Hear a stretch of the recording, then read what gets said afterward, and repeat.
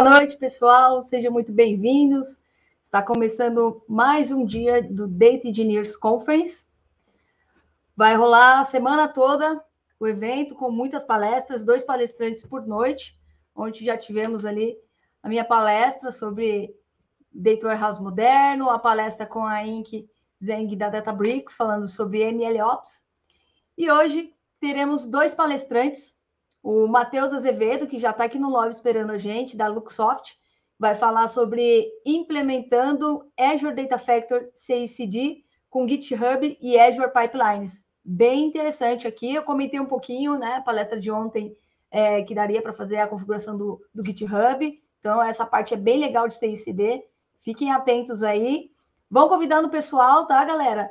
É, curtem, compartilhem, se inscrevam no canal para alcançar mais pessoas da comunidade. Isso é muito importante. Então, tem muito conteúdo aqui que a gente entrega para vocês, conteúdo de qualidade, para conseguir passar conhecimento, para conseguir é, apoiar as pessoas nas transições de carreira, de, de estudos, de projetos. Então, curtem, compartilhem com seus amigos e se inscrevam no canal para vocês conseguirem acessar as outras palestras, beleza?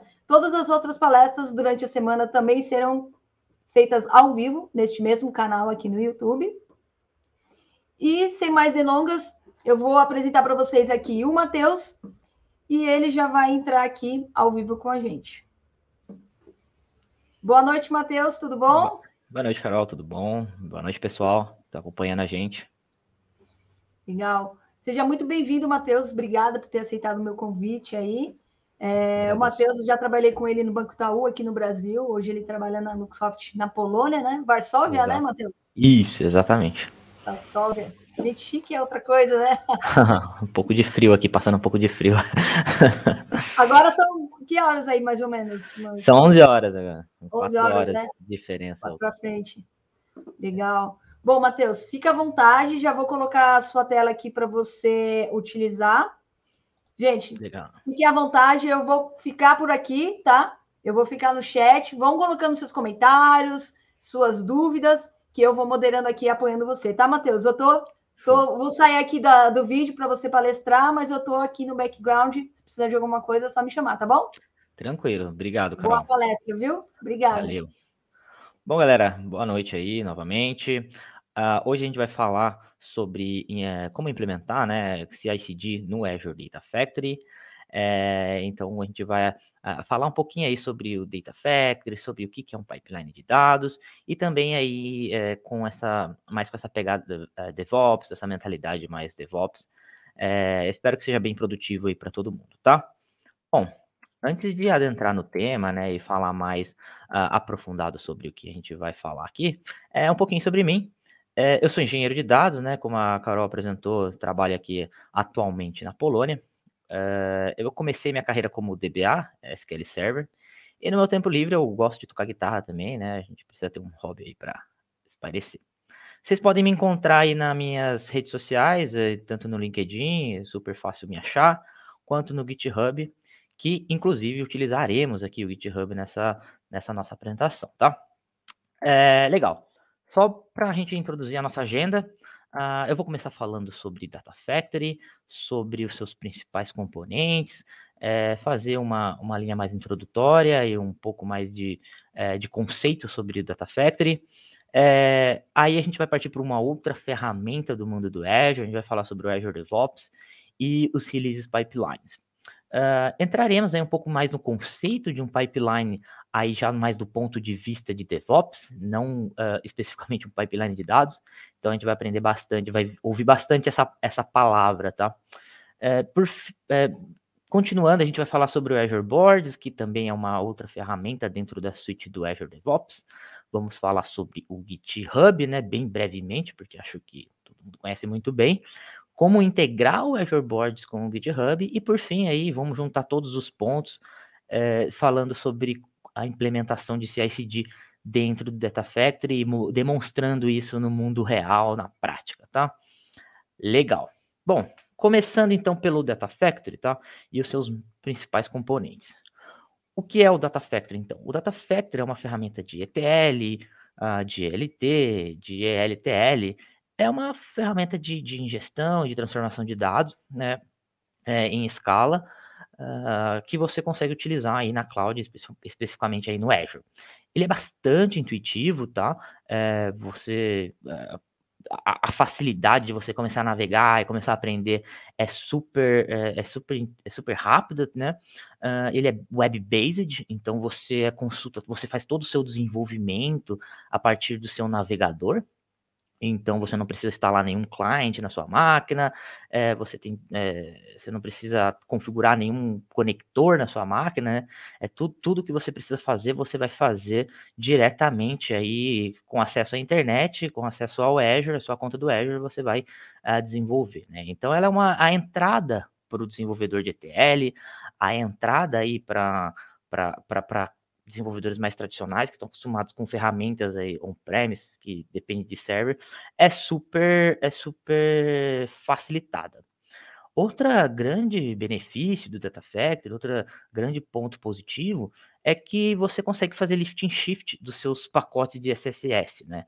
Então, se você pensa aí, você tem uma organização que se desenvolve há décadas é, em SSS, você tem um parque grande, você pode ter centenas, até milhares de pacotes, dependendo da sua organização. E você quer aproveitar tanto o conhecimento do seu time, que já é um conhecimento mais forte dentro do SSS, quanto uh, o modelo de pay as you go que a cloud te, te fornece. Então você pode sim é, fazer essa migração, fazer esse lift and shift aí uh, dos seus pacotes direto para o Azure, permitindo que você descomissione, que você deixe de provisionar servidores on-premises para processar esses pacotes. É, e, e, a gente, lógico, vai precisar de uma integration runtime específica para isso, e a gente vai entrar um pouquinho nesses pontos logo, logo, tá? É, então, aí falando agora, sim, mais es especificamente dos componentes que a gente tem de Data Factory, né? É muito importante a gente conhecer melhor essa nomenclatura, esse padrão que a gente tem dentro do Azure, porque é, são nomes bem específicos, né, dessa ferramenta e a gente vai, quando a gente vai desenvolver nossos, nossos pipelines, a gente vai acabar, assim, é, precisando saber desses termos, precisando saber desses nomes, até porque quando a gente vai procurar documentação, quando a gente vai trocar ideia, a gente precisa estar tá um pouquinho mais na ponta da língua o que, que esses termos significam, tá? É, mas é super intuitivo. Né? O pipeline aqui é muito em vista nessa, é, desse, dessa questão de pipeline de dados, né? Então a gente tem aí o pipeline é onde você vai criar suas atividades, você vai pegar o dado de uma, de uma origem, de um repositório de dados, né, de um data source e fazer esse carregar esse, esse dado para um outro ambiente, colocar alguma atividade aí de transformação, de manipulação de dados né? E como eu falei, dentro do seu pipeline você vai ter essas atividades encadeadas, essas atividades alinkadas através de alguma a, constraint, né? É, você pode querer é, que uma atividade execute após a, a, uma outra atividade tenha completado com sucesso ou com falha, né? E isso aí você determina um control flow dentro desse pipeline, ou seja, um fluxo aí de controle de como que você quer que as suas atividades executem. É, é lógico, né? Quando a gente está falando aqui de pipelines de data factory, a gente está falando de pipelines de dados. É, e esses dados, né, eles estão em algumas origens e eles são abstraídos em dataset, né? Então, o dataset aqui para a gente é a abstração desse dado. A gente vai ter é, um dataset que representa uma tabela num banco de dados, ou um dataset que pode representar uma a folder dentro do seu data lake, é, e assim por diante. Mais ainda, esses datasets são suportados por Linked Service. O Linked Service aqui, a gente pode enxergar ele, a gente pode a, a, ter essa ter na nossa cabeça que é uma connection string, é uma, uma conexão que você vai fazer com um data source, né? Então vai ser de fato a, a linha de comando, né, por assim dizer, que vai fazer, que vai garantir que o seu uh, ambiente, o seu recurso de Azure Data Factory tenha acesso ao seu repositório de dados, né? Esse é o principal funcionalidade que a gente enxerga aí dentro do Linked Service. A gente pode também ter Linked Service, né, é, para recursos computacionais Ou seja, você pode ter um link de service que vai se conectar com um cluster do Databricks ou com um cluster do AD Insight, né, para fazer processamento massivo de dados, né. É, mas a gente enxerga de modo geral, de modo geral, a gente enxerga um link de service como uma connection string, como uma forma de estabelecer uma conexão do seu Data Factory com o seu recurso de dados, com o seu repositório de dados ou com o seu uh, recurso computacional. Falando mais ainda né, de recurso computacional, toda essa infraestrutura do Data ele precisa também ter é, uma camada computacional aí para é, fazer a chamada dessas atividades né, de dados, é, ou para poder fazer o dispatch dessas atividades, né? E essa camada computacional que o Data uh, confia, né, que ele, que ele se baseia, são as integration runtimes. Então a gente tem as integration runtimes, a gente pode ter três tipos diferentes de integration runtime. Uma integration runtime de Azure, onde você vai conseguir fazer movimentações, né, fazer integração de dados em ambientes na sua cloud, né? É, você pode ter uma integration runtime self-hosted, onde você vai ter aí mais especificamente a possibilidade de integrar os seus dados com o seu ambiente on-premises, com uma rede privada, é, conectar nos seus databases que estão dentro do seu uh, data center, né? É, lógico que você vai acabar gerando um overhead de administração, porque você vai ter que fazer algumas configurações a mais, manter uma infraestrutura a mais, né? Ah, e a gente tem, como eu falei, né? A gente tem os, os, pacotes SSS que a gente consegue alavancar aí na cloud, a gente consegue fazer esse lift and shift, e esses pacotes SSS requerem uma integration runtime específica de SSS, né? Então a gente tem esses três tipos de integration runtimes ah, aí disponíveis para a gente.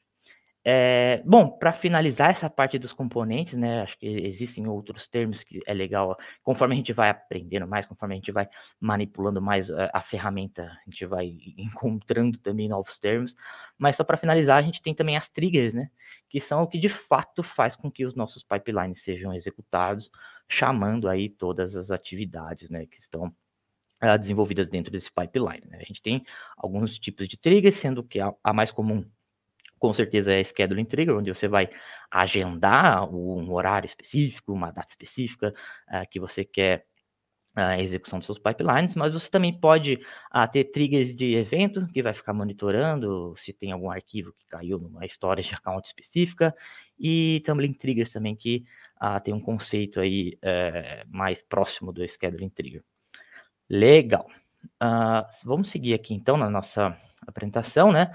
E aí, só para a gente fechar a, a parte de Data Factory, tem o, o Data Flow dentro do Data Factory, né? Que é uma.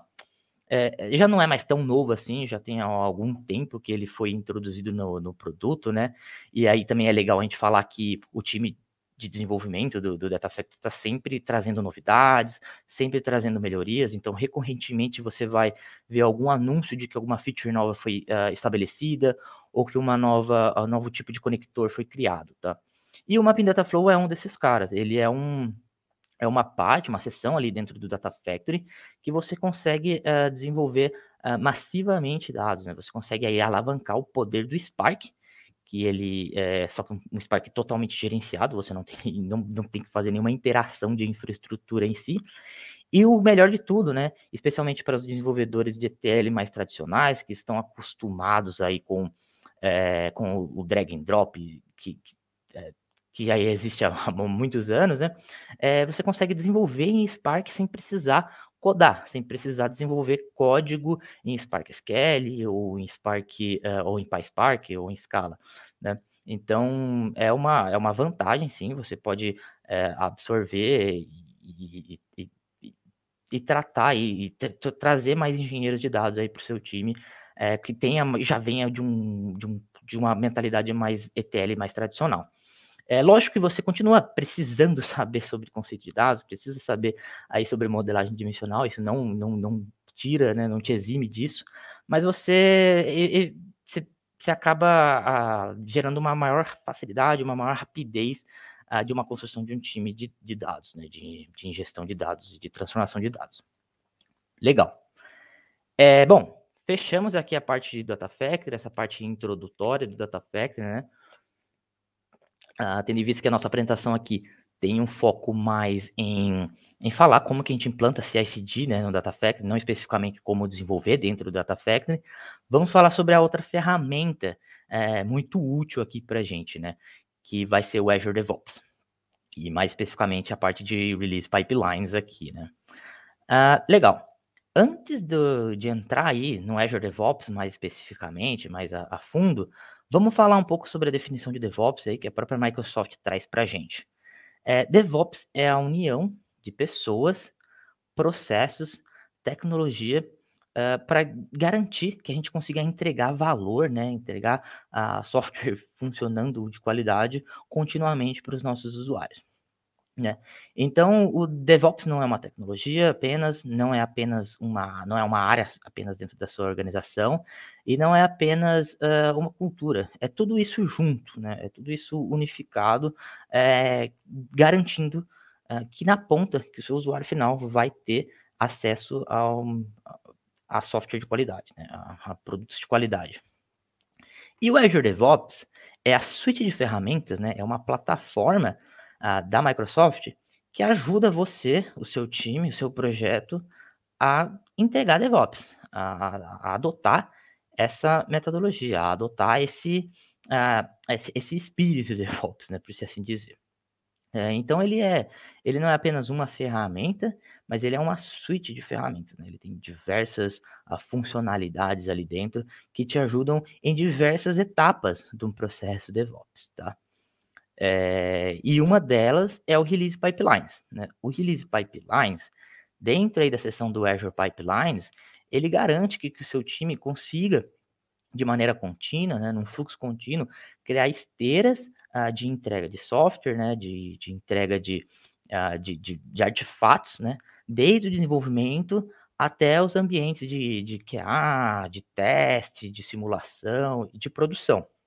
Então você pode configurar isso da maneira que for mais conveniente para sua organização, é, respeitando aí os seus, a sua governança de TI que você porventura pode ter dentro da sua organização, mas garantindo um processo mais automatizado, garantindo testes né, integrados dentro da ferramenta. Assim você evita processo, é, muito processo manual, especialmente nas etapas mais iniciais aí de teste, e você garante que você consiga ter um maior tracking, maior a capacidade de rastrear a qualquer é, etapa aí, desde o build, desde a integração do seu software, tá? Então você garante que o que você desenvolveu, o, os artefatos que foram gerados aí em desenvolvimento é, serão os mesmos que serão carregados nos estágios ou nos ambientes uh, posteriores, né, nos ambientes acima. Legal? É, aprofundando um pouquinho mais aqui no conceito de pipelines DevOps, e aí é aqui que a gente tem que fazer uma certa distinção, né, do que, a gente estava falando de pipelines no Data Factory, porque no pipeline no, que pipeline no Data Factory é um pipeline de dados.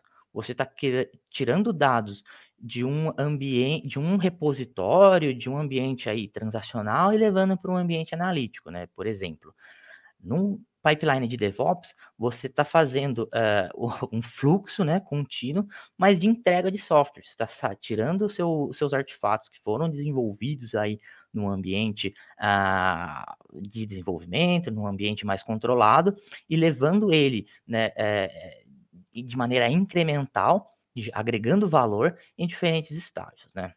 Então, essa é a distinção que a gente tem que fazer aqui. Tá? Uh, são, são, o, o, termo tem a mesma origem, né? Que você está fazendo uma esteira aí contínua, mas são, são coisas distintas, tá? E a gente vai tratar dos dois aqui. É, legal. Então, só para fechar aí, a gente tem alguns termos, né? Fundamentais que é legal também a gente saber quando a gente está falando de Azure Pipelines. É, até porque quando a gente é, é são, são mais específicos aqui do Azure Pipelines em si, então, vamos tratar ele um pouquinho aqui, porque a gente vai acabar trombando com eles durante a nossa demonstração, né? A gente tem o agente, que basicamente o agente são instaláveis, né? São softwares, são pedaços de software que vai fazer algum job, fazer alguma ação ah, para garantir que o seu pipeline vai, vai funcionar, né? Vai é, entregar o que ele está se propondo a fazer. Os artefatos, ele acaba, ele é o, o que você quer levar de um ambiente para outro, né? Ele pode ser pacotes DLL, pode ser uh, ARM templates, que é o que a gente vai tratar aqui, né? Ele pode ser é, alguma, algum, um, algum exe específico que você quer levar do seu ambiente de dev para outros ambientes. Aí, Continuous Integration, Continuous Delivery, que são termos que a gente vê bastante, né, e bastante sendo utilizados ah, em conjunto, a gente tem aí no Continuous Integration é, a, a, a, integração do seu, seu, da sua build, dos seus testes, né, garantindo que o seu time de desenvolvimento consiga entregar a software que são testados é, com, com, maior qualidade. E o Continuous Delivery é fazer essa entrega né, de maneira incremental nesses diferentes ambientes que a gente já mencionou aqui. O deployment target é o, o, destino que você quer levar os seus artefatos. Então, basicamente aqui, quando a gente for ver no Data Factory, a gente quer levar esse deployment target, vai acabar sendo um resource group, mas ele poderia ser um servidor também, né, que você quer fazer um alguma deploy específico nele. O pipeline é essa cadeia né, de atividades linkadas, é, é toda essa construção desse fluxo que você vai montar. A release aqui do ponto de vista de Azure Pipelines é uma execução de um pipeline, né? Então ele é uma é a criação de, de um é, a, a, é você fazer um trigger desse pipeline através de alguma feature nova que foi implementada, ou da resolução de algum de algum de algum bug, né? Então você acaba gerando uma release nova Uh, e essa release nova vai acabar uh, promovendo seus artefatos para os estágios que você definiu dentro do seu pipeline, tá? Então, estágios são uh, um conjunto de atividades, né, um conjunto de tasks que você tem dentro do seu pipeline. Legal, muita, muito termo, eu sei que é, é, é muita coisa, assim, é, para a gente pegar, mas conforme a gente vai desenvolvendo, a gente vai acabar tocando em cada uma desses, desses uh, pontos, desses, uh, desses conceitos, legal? É, agora falando brevemente, né, sobre outra seção do Azure Pipeline, do Azure DevOps, é, que é o Azure Boards. Uh, o Azure Boards, é, geralmente a gente, quando a gente começa a trabalhar com Azure DevOps, a gente começa com Azure Boards, né? Porque ele é o, o cara que ajuda a gente a gerenciar os nossos projetos uh, de desenvolvimento. Então, a gente tem aí uh, uma, uma suite, uma suite de, de, de funcionalidades muito rica é, que a, garante que a gente consiga gerenciar um projeto ágil, seja no modelo Kanban, no modelo Scrum, e a gente consegue é, fazer, criar sprints, é, fazer planning, criar discussão, e a gente consegue, de fato, monitorar como que o nosso time está produzindo, o nosso cycle time, e todas as métricas ágeis necessárias, né?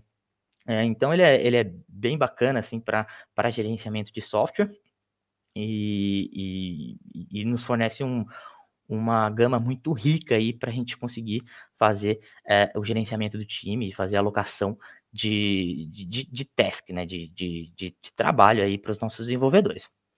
Uh, falando do GitHub super rápido, né, porque o GitHub aí, todo mundo deve ter uma conta do GitHub, ele é um, um principal software de controle de versão, né? Ele é imbatível quando a gente fala em colaboração é, e quantidade de integração que a gente consegue construir dentro dele com ferramentas de CI/CD, né? E não seria diferente com o Azure Pipelines. O Azure Pipelines tem, e o, e o próprio Azure Data Factory tem uma integração muito boa com o GitHub, tá? É, e que fornece uma, uma possibilidade de colaboração muito legal também. É, e aí, um último ponto para mencionar essa parte de colaboração é a integração que a gente consegue fazer com o Azure Boards mais o GitHub. É, através né, de, um, de, uma integração, a gente consegue é, controlar a cada commit, cada pull request, a gente consegue é, monitorar isso dentro de uma issue, dentro de uma user story, dentro de uma task. Então, você consegue ver bem no detalhe, bem de uma maneira bem granular, o que o seu time de desenvolvimento está é, tá entregando e linkar isso e associar isso com o seu gerenciamento, né, com a sua ferramenta de gerenciamento de, de projeto. Uh, isso é muito bacana, né, para gerar é, todo esse tracking aí do, do trabalho do seu time, tá? É, e inclusive você consegue uh, gerar automações do, do, seu gerenciamento. Então você consegue a partir de, uh, de tags e de termos chaves, você consegue até encerrar a sua atividade, a sua task, a sua user story de maneira completamente automática, né, com essa integração. Legal. Mas agora vamos para a cereja do bolo aqui, né? Vamos para de fato, o tema do, dessa apresentação, que é o CI/CD com Data Factory. As ferramentas que a gente tratou até aqui, tanto o Azure DevOps quanto o GitHub. Legal. Então, quando a gente fala em CI/CD de um contexto de Azure Data Factory, basicamente o que a gente está falando é da promoção de ARM templates do ambiente de desenvolvimento para os demais ambientes? Então a gente quer pegar esses ARM templates dos recursos que a gente criou dentro do Data Factory, dos objetos que a gente criou dentro do Data Factory e promovê-lo para ambientes superiores, né? Para QA, para homologação, para produção, tá? Então é isso que a gente trata. E o Data Factory já tem uma integração muito legal com o GitHub, né? Então você tem todo essa, esse gerenciamento do seu, do seu controle de versão de uma maneira muito facilitada para você, a partir do momento que você configura a integração com, ops, com o GitHub aqui, tá? Então, ele acaba sendo bem, bem bacana nessa parte. Então, o que, que a gente vai ter, tá? E o que, que eu vou demonstrar aqui nessa apresentação? A gente vai ter um resource group de desenvolvimento, né? E um resource group de produção. Poderiam ser subscrições diferentes, né? Subscriptions diferentes, mas uh, muitos casos também você tem na mesma subscription separado por uh, resource groups, né, os seus ambientes. Então a gente pode ter em resource group de desenvolvimento um data factory de desenvolvimento e alguns outros serviços, é, como provavelmente Key Vault, é, para você parametrizar suas connection strings, suas senhas. Você vai ter aí os seus, os seus bancos de dados, os seus storage accounts, as suas virtual machines. E você quer fazer apenas o deploy, nesse caso aqui, e o controle de versão do seu data factory. Você não quer é, alterar nada fora disso. Você não quer é, alterar os seus bancos de dados, os suas, as suas VMs, né? Ah, legal. Então, o que, a gente vai fazer? A gente vai gerar a integração aqui do GitHub com esse Data Factory de desenvolvimento. É, a gente vai criar um... A gente vai criar um Azure Release Pipelines que vai monitorar o seu repositório do GitHub, vai avaliar se houve alterações aí que gerem uma trigger, e caso haja, a gente vai fazer o deploy automático aí para produção, tá? Então a gente vai ter um ambiente equalizado entre desenvolvimento e produção. Aí o que, que é importante a gente ter em mente, tá? É, o que, que é importante a gente ter é como adotar aí como padrão a gente sempre padronizar os nomes dos nossos segredos, os nomes das nossas connection strings entre os ambientes e sempre incluir, né, da maneira uh, mais segura possível e melhor possível, as nossas connection strings em Azure Key Vault. Tá? Isso é, é muito importante para que seu pipeline não falhe ou para que ele não referencie um recurso que ele não consegue enxergar, né? Porque ele está em produção, ele não vai, é, você não vai querer enxergar aqui os recursos de desenvolvimento. Mas, vamos ver isso na prática, tá? É... Legal. Então, o que eu quero mostrar aqui, galera, é aqui na minha, dentro da minha conta do Azure, eu tenho dois resource groups. Eu tenho meu resource group de desenvolvimento, que tem um data factory de desenvolvimento, e eu tenho o resource group de produção, que tem um data factory de produção. Poderiam ter outros recursos aqui, e esses recursos não seriam ah, alterados conforme a gente for fazer o nosso release pipeline, tá?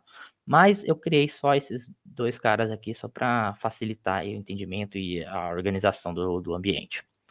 Uh, então eu já abri aqui o nosso, o nosso Azure Data Factory Studio, tá? Já estou conectado, tanto no de desenvolvimento quanto no de produção. Legal?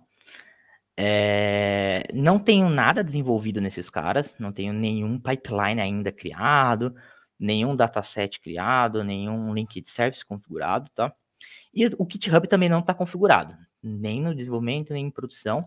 Se a gente vier aqui na home do Data Factory, né, do Data Factory Studio, a gente vai até ver que o, ele recomenda a gente, ou ele dá, gera essa dica aqui para a gente configurar o Git para controlar a versão e facilitar a colaboração e tracking uh, do código que a gente desenvolve. Mas é, vamos pensar que eu fiz esse deploy, desse, eu provisionei esse serviço aqui do Data Factory sem o Git e eu comecei a desenvolver sem o Git. Então eu vou vir aqui, eu vou criar um novo pipeline, um pipeline super simples, né, uh, com uma tarefa de wait aqui, só para não ter dor de cabeça de configurar a língua de service nem nada. E o que acontece? Bom, se eu quiser sair aqui, uh, eu vou precisar publicar, né? Porque essas alterações não vão ser salvas. Uma vez que eu não estou controlando isso com GitHub, ou, ou com, com Git, né? Com Azure uh, DevOps Git, é, eu não consigo salvar nada. Eu preciso publicar isso daqui no meu serviço do Data Factory. Então, vamos pensar aqui que eu não coloquei o nome dessa task. Aqui, né? é, e se eu, mas só que eu, eu quero deixar assim. Então, se eu tentar publicar, ele já vai mostrar que tem um erro, né? Então, não consigo publicar. Então, preciso voltar aqui e colocar o nome novamente. Legal. Aí eu posso publicar a minha task. Pipeline super simples aqui, só para demonstrar uh, como fazer. Legal. Agora eu comecei a trabalhar com um time, comecei a trabalhar aí de uma maneira mais colaborativa e eu quero ter esse controle de versão, né, fundamental para os meus desenvolvimentos, e só com controle de versão que eu consigo é, criar os Azure Release Pipelines. Né? Então eu vou vir aqui no meu Manage e vou configurar o meu GitHub com o meu Data Factory. É, eu vou selecionar o GitHub, eu vou colocar a minha conta do GitHub. É, e eu vou escolher um repositório, que é um repositório que eu já usei então, eu já tenho alguns pipelines desenvolvidos dentro desse meu repositório, tá? Mas eu quero trazer ele. Eu tinha ele num Data Factory antigo e eu quero reaproveitar esses pipelines que eu já tinha nesse meu, no meu Data Factory. Né? Vou escolher a branch de colaboração, que é aquela branch na qual eu consigo publicar os meus uh, pipelines. Então, apenas a partir da branch de colaboração eu consigo publicar os meus pipelines. É, aqui eu vou escolher a main, né, padrão.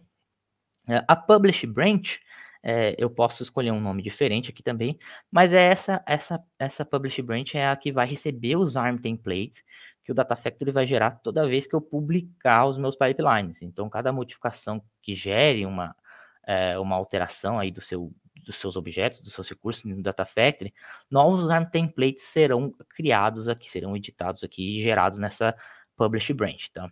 É, vou deixar com o nome default mesmo, e vou importar né, os recursos existentes, né, que é aquele pipeline lá super simples que eu criei, direto na minha branch de colaboração aqui, tá? Então, legal. Ele está configurando, ele está até falando que eu estou tentando importar repositório é, recursos, né, novos, novo código aqui numa uma, um repo que já existe. Normalmente você não iria configurar num repo que, que já existe, você provavelmente criaria um repo novo, né, para cada serviço novo que você cria. Mas aqui eu quero aproveitar os pipelines que eu já tinha, né. Então, se eu venho aqui, eu consigo ver os pipelines que eu já tinha no meu repo, né. Então, eu tenho super simples pipelines que eu fiz aqui, só para motivos de, de demonstração, né. Então, legal, tá tudo, tá tudo aberto aqui. Uh, mas ainda, o que acontece? Eu não tenho nada em produção. Lógico, eu não configurei nenhum release pipeline, então eu não vou ter nada ainda em produção. Então, o que, que eu preciso fazer agora para gerar esse CI, CI pipeline, né? Esse pipeline de CI/CD? Eu preciso criar um, um release pipeline. Vou vir aqui, vou criar uma nova release. Legal. Uh, vou gerar como um empty job. Vou colocar aqui prod, que é o, o destino que ele vai ser. Vou configurar o meu artefato, que vai ser aquele meu GitHub do, do, do Data Factory, né? Vou configurar aqui a, a minha...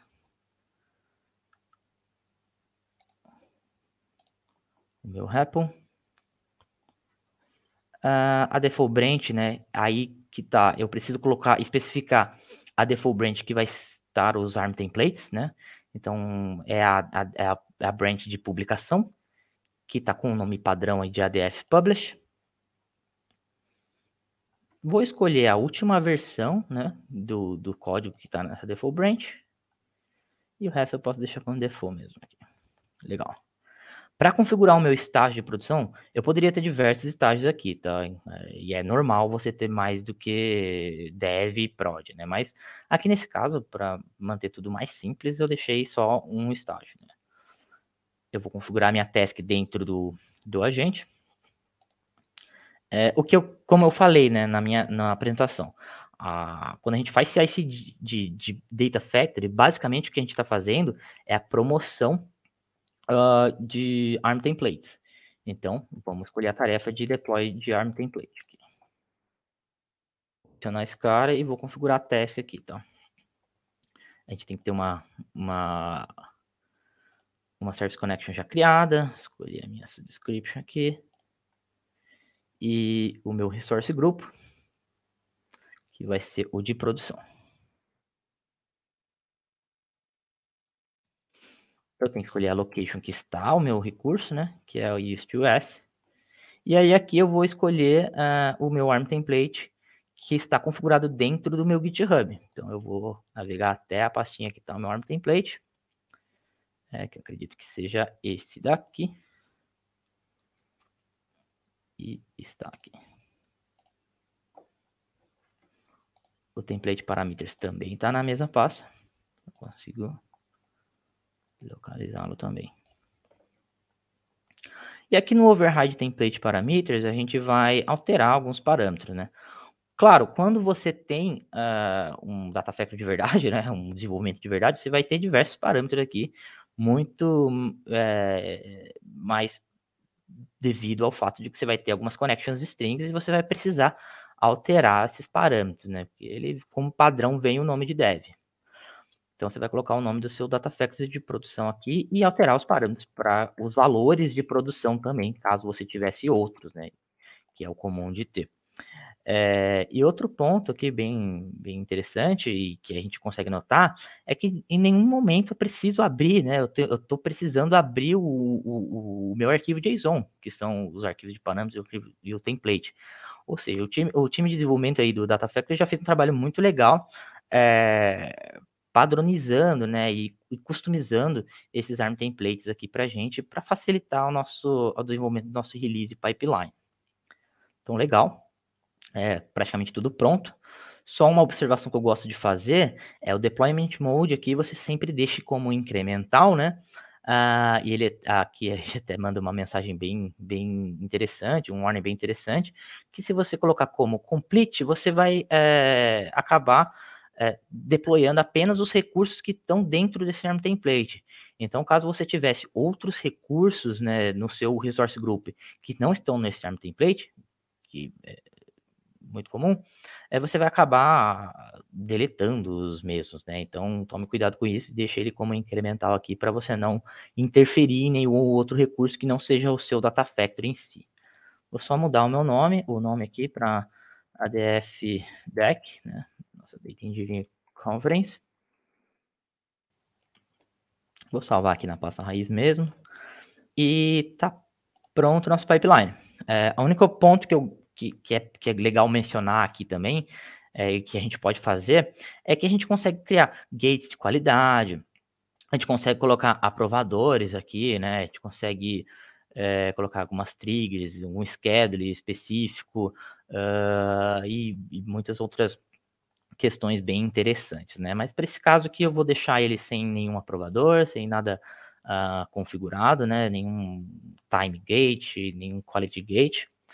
E eu quero configurar uh, o Continuous Deployment Trigger, ou seja, a cada alteração que eu tiver no meu ambiente de desenvolvimento, ou seja, a cada vez que eu publicar, eu quero que isso de maneira automática promova uh, os meus objetos de Data Factory para produção, tá?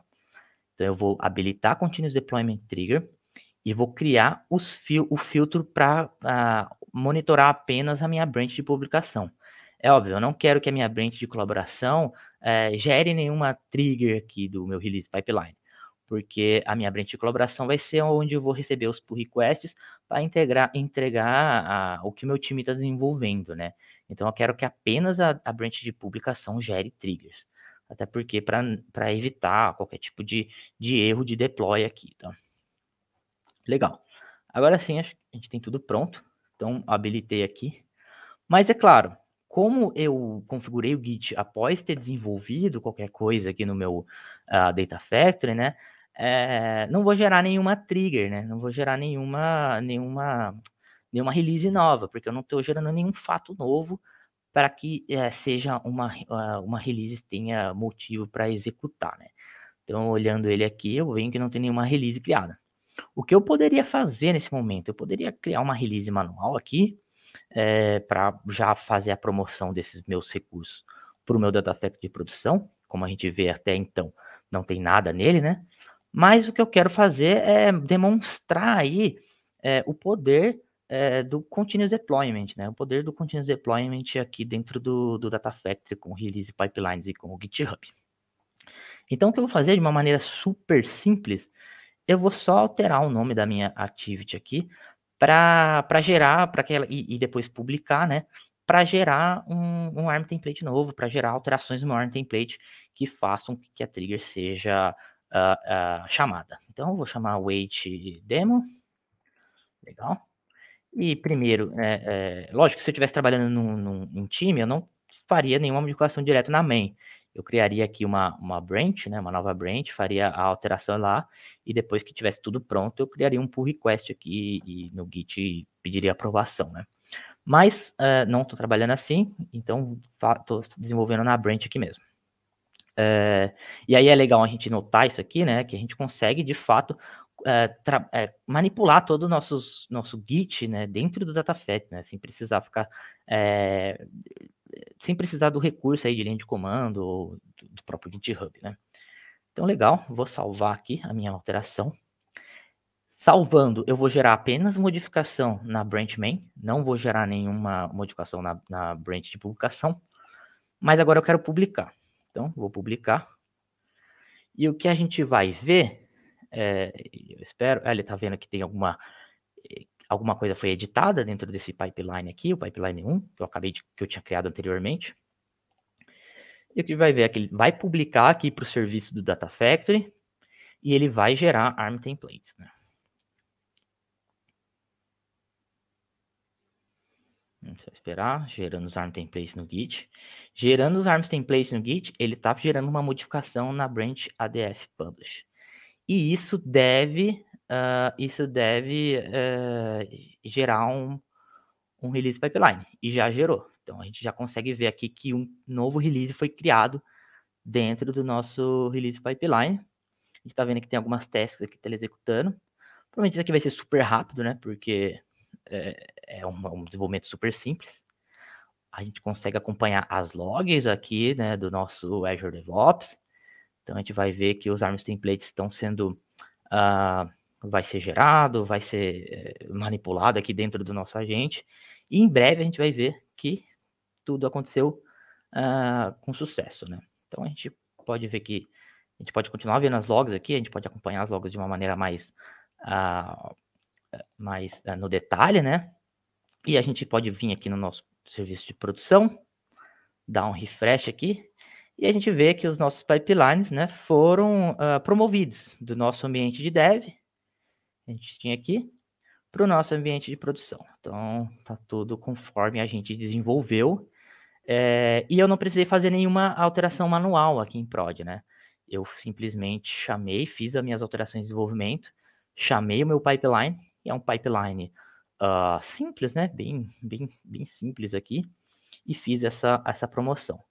Aí, novamente, só reforçando, poderia ter colocado janelas de, de mudança, colocar aprovadores para avaliar as alterações que foram feitas, mas a, a ideia e o princípio é bem esse aí, tá, galera?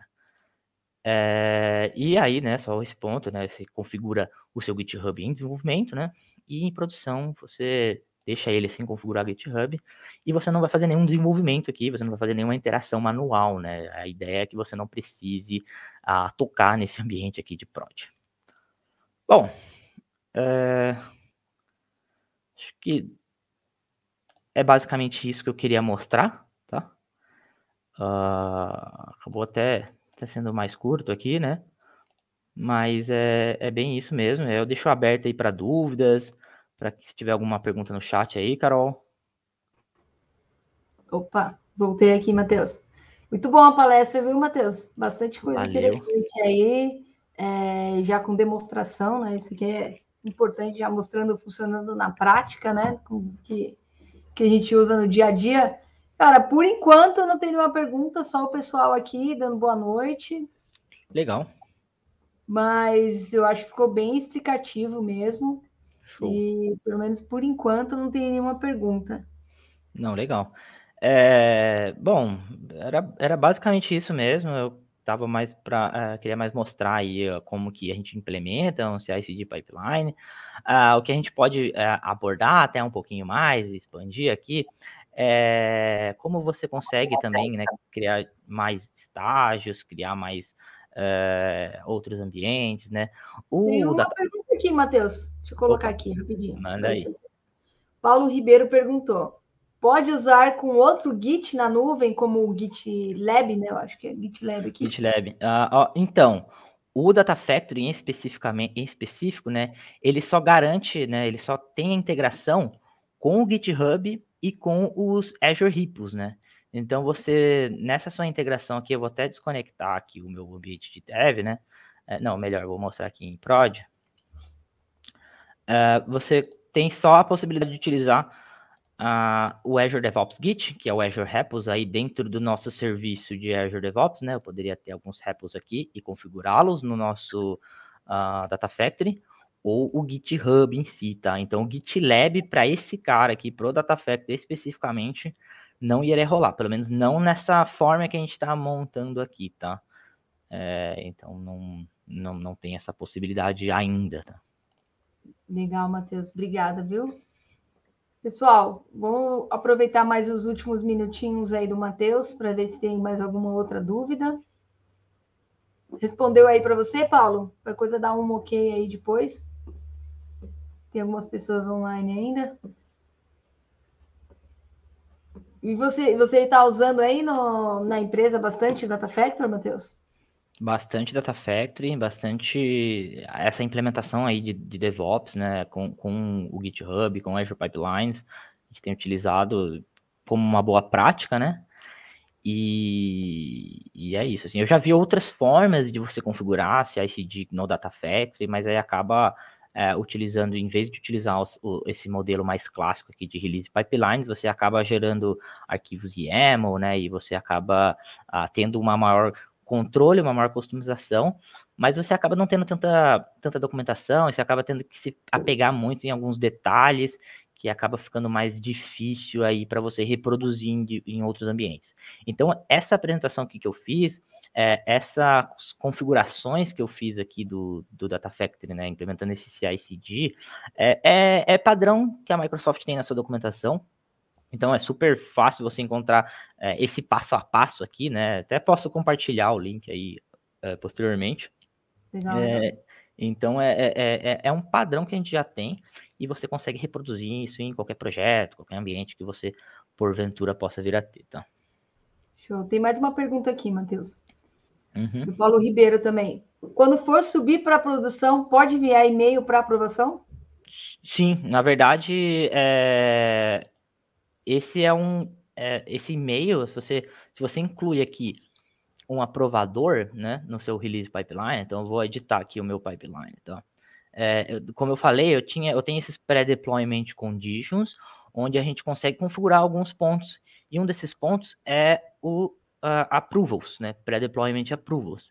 Então aqui você consegue colocar, por exemplo, o meu nome aqui, eu vou colocar meu usuário, sei lá, é, e eu posso mandar um e-mail para mim, né? E colocar aí, é, ou para um grupo que você tem aí no seu Azure AD, é, e aí você consegue, esse cara automaticamente ele vai receber um e-mail toda vez que uma, um release novo for criado ou que uma trigger for, for chamada, tá? Então você não tem esse deploy automático, você acaba tendo um, um deploy aí semi-automático, né? Porque você precisa que alguém aprove, que alguém olhe. E não só isso, eu posso configurar também é, um, um, horário específico. Então, ah, legal, posso aprovar, mas eu não quero que esse deploy seja executado agora. Então, você vai lá e configura aí qual que é o horário que você quer que esse deploy aconteça, tá? É, isso aqui não é só específico do Data Factory, mas sim do, do Release Pipeline como um todo. Legal. E até questionando aqui, Matheus, não sei, não sei você, eu e alguns projetos no, em outros times, a gente usava esse, esse mecanismo aí para se conectar com o GitHub ou com o DevOps, principalmente, uhum. para guardar os pipelines. Então, o que acontecia? A gente fazia alguma coisa é, em desenvolvimento, laboratório, que ia ser utilizado depois, como estava conectado ali no DevOps, nos repos, né? A gente uhum. consegue fazer uma espécie de backup, né? Isso aí também ah, é, é, algo comum, né? Hoje em dia, para a gente ter algum backup, porque já aconteceu, por exemplo, fiz o pipeline, perdi, apaguei por, por acidente, não tem como você fazer um backup dele, né, uhum. e restaurar de alguma forma. Então, se você tiver conectado com o GitHub ou com o repos ali do DevOps e conseguir guardar esse pipeline, você consegue recuperar ele todo, mudar as conexões e fazer praticamente um clone, né? Isso aí também é interessante. Exato. É, exato, você garante aí essa rastreabilidade, essa história aí das suas execuções, né? Então você garante que você tá, consegue levar, né? Consegue fazer o mesmo deploy do mesmo artefato, né? Porque vai ser, cada vez que você faz uma release aqui, é um artefato específico, é um, um, um artefato específico, um, um arquivo específico que você está levando, né? Então você consegue ver o que foi em cada momento, né? Cada, em cada vez que você fez esse deploy, você consegue ver o que de fato você implantou. Então, é essa a parte super interessante de garantir rastreabilidade do que você está desenvolvendo e que você está implantando, que você está deployando, né? Entendi. Bem legal, Matheus. Bom, Matheus, tem mais alguma coisa que você queria mostrar? Se não, o pessoal não tiver nenhuma dúvida, a gente já coloca a Letícia para entrar no próximo aqui. Ah, acho que é, é isso mesmo, tá, Carol? Acho que é a minha parte. Mas isso mesmo. Beleza. Coloca só de volta, Matheusinho, por favor, o slide só com seus contatos para o pessoal. Ah, beleza. Precisar. Ó, tem só mais uma dúvida aqui do Artus. Tem alguma principal vantagem do Azure DevOps sobre o AWS DevOps? É, bom, é que para o Data Factory é, você vai acabar integrando com o Azure DevOps Pipelines, né? Ah, é, a, é a, é a, ferramenta que tem mais, mais interação com o Data Factory, por os dois serem Azure, né? Uh, então, tem menos documentação quando você vê de Azure AWS DevOps, né? Acho que é o Code Deploy, né, na AWS. Então, para Data Factory tem menos material para isso, tá? E eu mesmo eu tô mais íntimo, né, mais ah, familiarizado com a implantação de CI/CD com Data Factory usando o próprio Azure Pipelines, tá? É lógico, cada um vai ter os seus pontos fortes, pontos positivos, pontos fracos, mas quando você está trabalhando com a, com a, tecnologia da mesma empresa, vai ter essas integrações mais fortes aí, né? É, inclusive, né, um dos pontos aí que o Paulo colocou, que foi é, a questão do GitLab, né? É, não tem essa interação aqui com, com o Git do, do Data Factory. Muito por quê? Porque o GitHub é da Microsoft e o Azure Repos também está aí dentro do, do Azure DevOps da, da, da, Microsoft. Então acaba tendo essa facilidade de ser criado novas features, novas integrações. Né? Legal. O pessoal está agradecendo aqui, Matheus, dando os parabéns pela palestra. Valeu. Falando que foi excelente. A Luísa dando os parabéns aqui. Realmente foi um conteúdo bem legal. legal. Obrigada, viu, Matheus, mais uma vez pela sua presença. Pessoal, tem ali os contatos do Matheus que ele deixou ah, depois. Quem precisar, legal, pode entrar em contato. Quem precisar também pode entrar em contato comigo. A palestra do Matheus vai ficar gravada aqui no canal. A gente está fazendo hoje ao vivo, mas vai ficar gravada no canal do Data Engineers Conference, tá? Só acessar lá que vocês vão conseguir é, assistir novamente e, e, e indicar para as pessoas também, compartilhar quando vocês precisarem, tá bom? Muito obrigada, viu, Matheus, mais uma vez pela sua presença. A gente vai combinando outras palestras por aí. Fechou. Muito boa sorte para você aí nessa nova jornada aí na Polônia. Valeu. E a gente vai se falando, tá bom? Valeu, valeu, Carol. Valeu, galera. Muito obrigada, viu? Boa noite. Um abraço, boa noite. Tchau, tchau. Isso aí, galera. Mateuzinho, Mateus Azevedo, né? Gosto de chamar ele de Mateuzinho, porque eu trabalhei com ele. Com bastante conteúdo ali de Azure DevOps, com Data Factory, CI/CD, bem interessante. Espero que vocês tenham gostado bastante. O pessoal está agradecendo aqui. Muito bom. Bom, galera, agora, é, dando sequência aqui no, no, nosso evento, já está esperando a gente aqui no lobby a Letícia Pedroso. A Letícia vai falar sobre inteligência artificial. Então, o tema é Inteligências Artificiais entendem a nossa linguagem humana? E ela vai explicar um pouco mais disso para a gente hoje aqui. Deixa eu chamar ela aqui. Boa Olá. noite, Boa noite. Tá me ouvindo? O som tá bom? Tá ótimo. A imagem também tá muito boa. Tudo bem com você? Que bom. tudo certo, só passando calor, né, em São Paulo. É, tá difícil, né? Eu também estou em Campinas, então parece que o negócio tá ah. pior. Mais Bom, Letícia, seja muito bem-vinda, obrigada por ter aceitado o meu convite.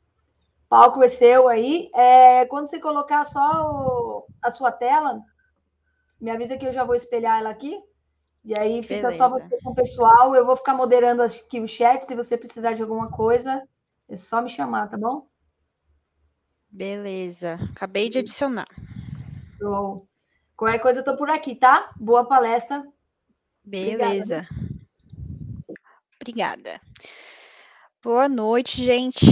Hoje eu vou falar um pouco sobre inteligências artificiais e se elas de fato entendem a linguagem humana, né? Eu imagino que todo mundo às vezes se pergunte: nossa, eu estava conversando com meu amigo sobre um produto que eu queria comprar ou sobre algum problema que eu tive. E aí, magicamente, do nada apareceu, aparecem é, é, alguns anúncios, né, desse produto e etc, né? Será que isso é verdade? Será que isso é mito? Será que o meu celular consegue entender o que eu estou falando para ele, capturar o áudio e de alguma forma, né? É, enfim, essas e outras perguntas eu talvez responda ou não, porque não, não tenho acesso a todas essas a, a esses mistérios aí da, da tecnologia, mas a gente vai entender um pouquinho hoje é, o que é possível fazer com inteligência artificial já, né? Opa. Bom, me apresentando, o meu nome é Letícia Pedroso. Eu sou cientista de dados na TakeBlip. TakeBlip é uma empresa é, voltada para essa parte de criação de. A gente chama de contratos, né? Mas basicamente são chatbots. Então a gente cria chatbots tanto com inteligência artificial quanto sem inteligência artificial. Então meu foco é muito voltado para essa área de linguística. E eu também é, lidero algumas comunidades aqui em São Paulo.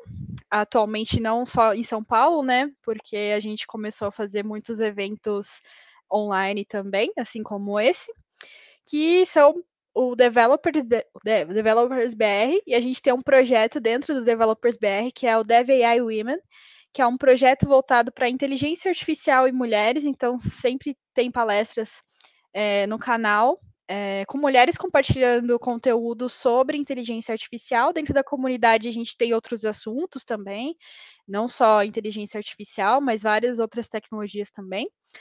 E as minhas redes sociais, o meu GitHub, o meu LinkedIn e o meu Twitter, para quem estiver vendo agora ou vendo depois e quiser entrar em contato para, sei lá, tirar alguma dúvida, mandar um feedback ou qualquer coisa, é só anotar aí. É, eu também sou Microsoft MVP Inteligência Artificial. É, então, estou bem entrosada aí, trabalho com isso, estou bem dentro da área aí, que é o fervo do, do momento, né? Então, bora lá. Quando a gente pesquisa sobre inteligência artificial no Google, né? Eu tirei um print mesmo do ontem, eu tirei esse print, né? Para ter uma coisa bem atualizada sobre a pesquisa. É muito normal que a gente tenha, a gente veja, né?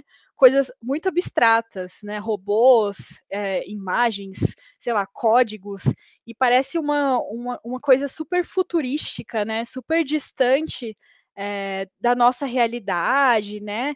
Parece aqueles, até aqueles filmes que retratam o futuro e etc. Isso faz com que muitas vezes a gente tenha uma ideia realmente muito abstrata sobre a inteligência artificial e é, que a gente tenha talvez receios e medos, ou que a gente pense que a inteligência artificial ainda não, não está dentro da nossa vida, né? Ela é uma coisa muito para o futuro. Mas, na verdade, é, né? E até a gente faz a reflexão, né? O que vem na sua mente quando falamos sobre inteligência artificial?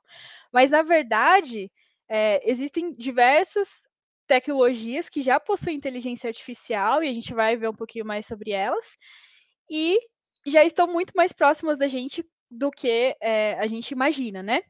Mas beleza, baseando nessa pesquisa que a gente faz, nos filmes que a gente vê, nos desenhos e etc., né?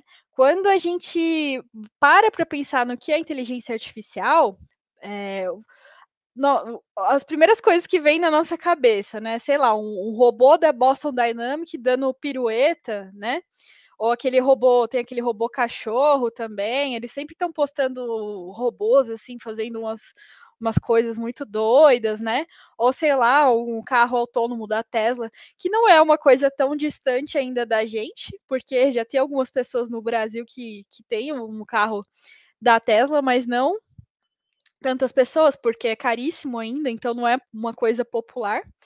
De qualquer forma, não é não é para qualquer um, né? não é tão próximo, mas é uma super tecnologia, né? E é uma coisa que a gente que a gente olha assim, é, é praticamente um robô, né? Porque é um carro que consegue é, se autodirigir ali sem precisar de uma pessoa é, estar fazendo isso. Ou precisa, mas em alguns momentos, né? Porque o, o, os carros autônomos atuais são híbridos, né, modelos híbridos. Ainda precisam de alguns momentos que o motorista esteja ali olhando. Mas enfim, é uma coisa muito cara, é, enfim, né? Ou uma outra coisa que vem na cabeça também, uma casa inteligente, que já existe também para as pessoas, principalmente para quem tem mais dinheiro, ou quem curte fazer IoT fazer integrações, né? Já é possível comprar alguns periféricos e fazer em casa algumas coisas, mas não, não só esses mais simples, né? A gente já pensa, sei lá, numa geladeira inteligente, é, num ar-condicionado super inteligente, é, numa casa completamente inteligente, né? Que você vai chegar para morar nela. Você imagina, né? Você está trabalhando e aí é, você quer que quando você chegue na sua casa a temperatura esteja tal, que sei lá, o que você deixou no congelador esteja descongelado, que a sua louça esteja lavada e que a sua casa esteja limpa, que seu robozinho ali tenha trabalhado e etc, né? É muito é, o, que, o que passa na nossa mente futurística sobre a ideia de inteligência artificial. Mas ela está muito mais próxima da gente do que nós imaginamos, né? É, ela já está inclusa ali em coisas, em muitas coisas do nosso próprio dia a dia. Como, por exemplo, esses prints aqui já são até antigos, são de uns dois anos atrás, mas eu deixei para a gente ver como não é tão atual, né? Como, por exemplo, aqui, para quem, quem tem aí um smartphone, né? Nesse caso aqui foi um print que eu tirei do iOS mesmo. Mas é, ele já consegue, a partir das fotos que eu, que eu tinha ali naquele momento, ele já conseguia é, categorizar em pastas sobre o que cada uma dessas fotos era relacionado, né? Então ele já faz uma classificação.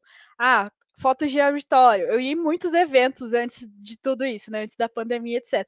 Então tinha várias fotos de auditório. Ele conseguiu categorizar ali para mim. Animais. É até interessante que essa foto aqui, em, é, em específico, não é um animal é, de verdade, mas é uma foto de um, é uma armadura de um animal de um museu que eu fui em Recife e tinha uma armadura de um animal, a armadura de um cavalo. E ele identificou como é, animais também, né? E, sei lá, praias, ele já faz uma categorização. Isso é visão computacional, a gente conseguir identificar quais são é, os elementos daquela imagem e a, a, que grupo ela pertence, né? Aqui em cima tem até também a, a detecção facial, e não só a detecção, porque detectar, né, é igual aqui na, na, nessa outra imagem ao lado, né, que é quando eu consigo identificar que existem rostos. Mas, além disso, eu também consigo identificar quem são essas pessoas, né? Então, no meu celular, além de identificar alguns rostos, eu consigo identificar quais são essas pessoas. É, o iOS tem também é, de perguntar, né, para você. Ele identifica rostos e ele pergunta: quem é essa pessoa? Você quer dar um nome para essa pessoa? E aí, a partir do momento que você dá um nome, como nesse caso aqui, Morgana, ou eu mesmo, quando você clica, vai aparecer todas as fotos que você tem no seu celular que essa pessoa está, né? Então, isso é, é a visão computacional dentro do seu, do seu smartphone. É, smartphone é meio, é meio cringe falar isso, né? Mas dentro do seu celular. É, aqui é outra imagem, né? Que também já é mais antiga, da época que eu ainda usava mais o Facebook. Mas olha que interessante, o exemplo que eu já tinha falado, né? Ele consegue detectar o rosto das pessoas, então onde tem rosto ali, ele já faz um, um quadradinho, né? E ele até pergunta se eu desejo me marcar. Essa foto, é, eu não me lembro se foi, foi eu que tirei, que postei ou foi uma outra pessoa, mas o Facebook, nessa, nesse momento, já faz um tempinho que eu não uso, mas ele conseguia até quando uma pessoa que mesmo não fosse, mesmo que essa pessoa não fosse minha amiga, é, essa pessoa postasse uma foto que eu estou nela, o Facebook já me mandava uma notificação dizendo: olha, você nessa foto, você quer se marcar e etc, né? Isso, olha como isso é útil, né? Porque eh, de repente para outros assuntos, a gente está falando aqui de, de fotos numa rede social, mas sei lá, direitos autorais de alguma coisa, né? Que já é inclusive utilizado, né? Mas imagina, né? Você você tem um produto que é, que é seu, uma marca, etc.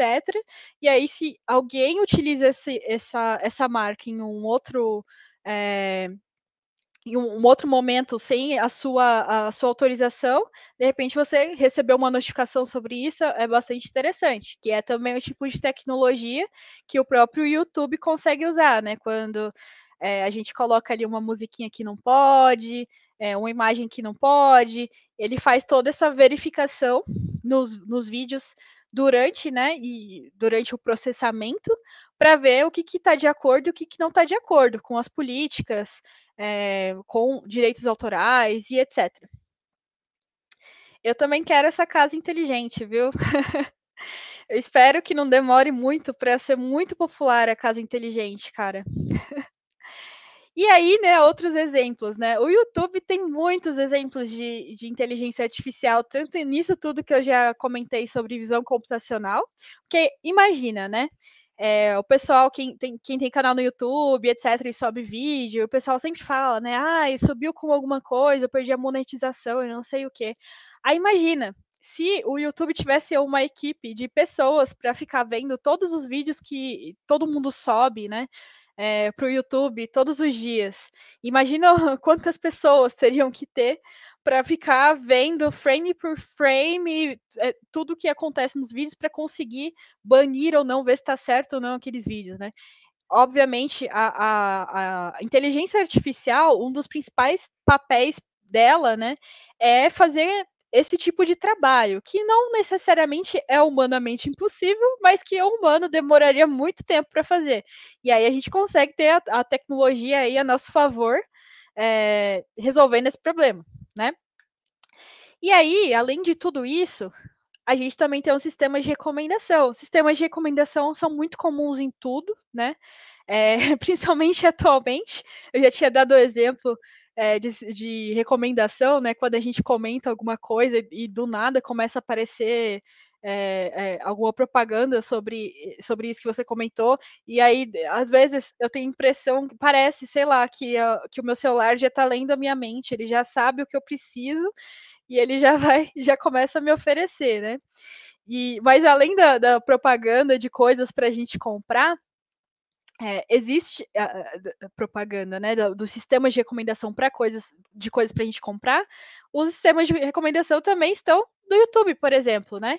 É, estão no YouTube, estão no Spotify, então é sempre assim. Eu sou uma pessoa extremamente aleatória. Eu acho que eu sou uma pessoa que eu ferro o algoritmo do YouTube, porque eu vejo vídeos sobre coisas muito aleatórias que não, não tem nenhum padrão, assim, não, não tem nenhum sentido. E, e aí eu, ele, eu acho que ele, ele fica confuso do que ele vai me recomendar. Mas o que acontece normalmente? De repente a gente começou a assistir alguns, alguns vídeos ali, né? É, sobre, sobre Python, né? E aí é, o YouTube ele vai começar a recomendar vários vídeos é, tanto do próprio canal que eu já vi, quanto de canais parecidos, que também tem videoaulas de Python, que falam sobre as bibliotecas, falam sobre os livros, ou sobre algum outro tema. Eu, de repente eu, ai, me interessei por montanhismo, comecei a ver vídeos de montanhismo. De repente você está vendo vídeo de montanhismo, está vendo vídeo de equipamento de montanhismo e, e tudo que, que ele acha que tem a ver com aquilo que você provavelmente vai gostar, né? Isso é um sistema de recomendação. Por que, que é legal, né? Porque é, eu vou te recomendar aquilo que tem mais chance que você veja, né? Aí o, o, Spotify também tem inteligência artificial em várias, em várias questões. Um que eu gosto de, de comentar sempre é na playlist Descobertas da Semana, ou Daily Weekly, acho que esse, não, é Weekly, né? Discovery Weekly, o nome. É, que, é, que é essa aqui, que tá minha fotinha. Essa playlist é muito interessante porque é uma playlist formada quase sempre por músicas que você ainda não escutou, mas que você tem uma grande chance de gostar dessas músicas, porque elas são muito parecidas com músicas que você escuta é, diariamente, né? Vez ou outra, na minha, eu, escuto sempre, né? Vez ou outra vem uma música que eu já escutei, mas, mas tudo bem quase, sei lá, 95% das músicas são músicas que eu nunca escutei e que eu geralmente gosto, né? É, então isso é muito legal também, é uma forma de você recomendar coisas novas, né, que, que a pessoa não conhece, mas que ela tem uma chance melhor de aderir. E aí, os sistemas de recomendação, é, não só das propagandas pop-up ali que aparece para a gente no, no Instagram, né, no Facebook, é, no Twitter acho que ainda não, graças a Deus, mas é, quando a gente compra alguma coisa em algum, algum site, qualquer, seja qualquer um, né? Nesse caso, eu coloquei um exemplo do Mercado Livre. Então, imagina, sei lá, eu fui lá no, no Mercado Livre para comprar um iPhone, né? Sempre aparece, é, sei lá, ou quando eu cliquei no iPhone, é, e aí aparece embaixo, ou quando eu estou finalizando a compra, aí pergunta assim: ah, você não deseja levar mais esses itens, né? e sempre são itens que têm alguma relação, né? Então, nesse caso, ah, eu, eu, quis comprar um iPhone, então ele vai me recomendar, ele me recomendou aqui no caso, capinha para iPhone, película, porque isso, me recomendando esse tipo de produto, ele tem muito mais chance que eu queira comprar, já que é algo que a maioria das pessoas que compram iPhone, elas compram junto. E tem uma relação direta, né? Porque se você compra um iPhone que já é um celular caro, você vai querer comprar uma película e uma capa, porque se cair no chão, vai quebrar, né?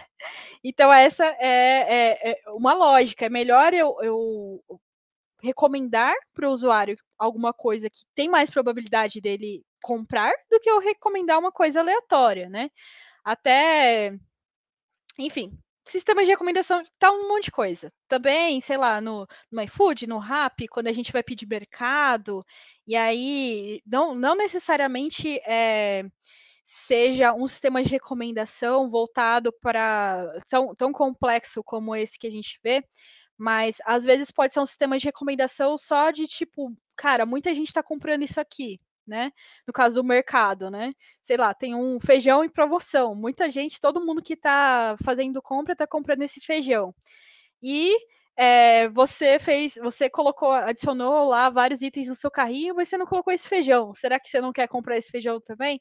É uma outra forma, né? Outra, outra lógica. Existem muitas lógicas aí para você recomendar coisas. E, enfim, e aí, é, a gente também tem os assistentes virtuais.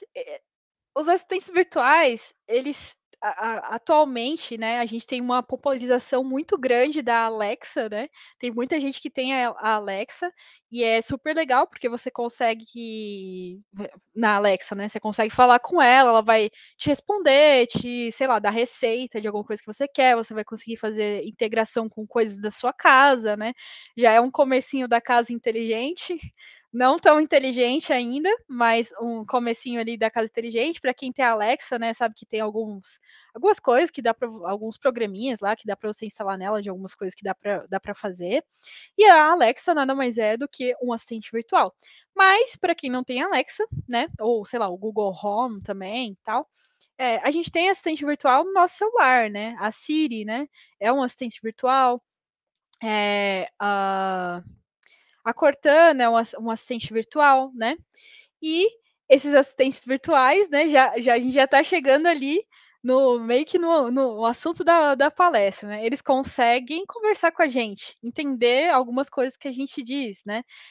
Eventualmente acontece de eu estar falando alguma coisa, tipo, igual aqui eu tô falando várias coisas, né? Estamos numa palestra, ou sei lá, eu tô no trabalho, numa reunião, tô falando várias coisas, e aí apita minha Siri, né?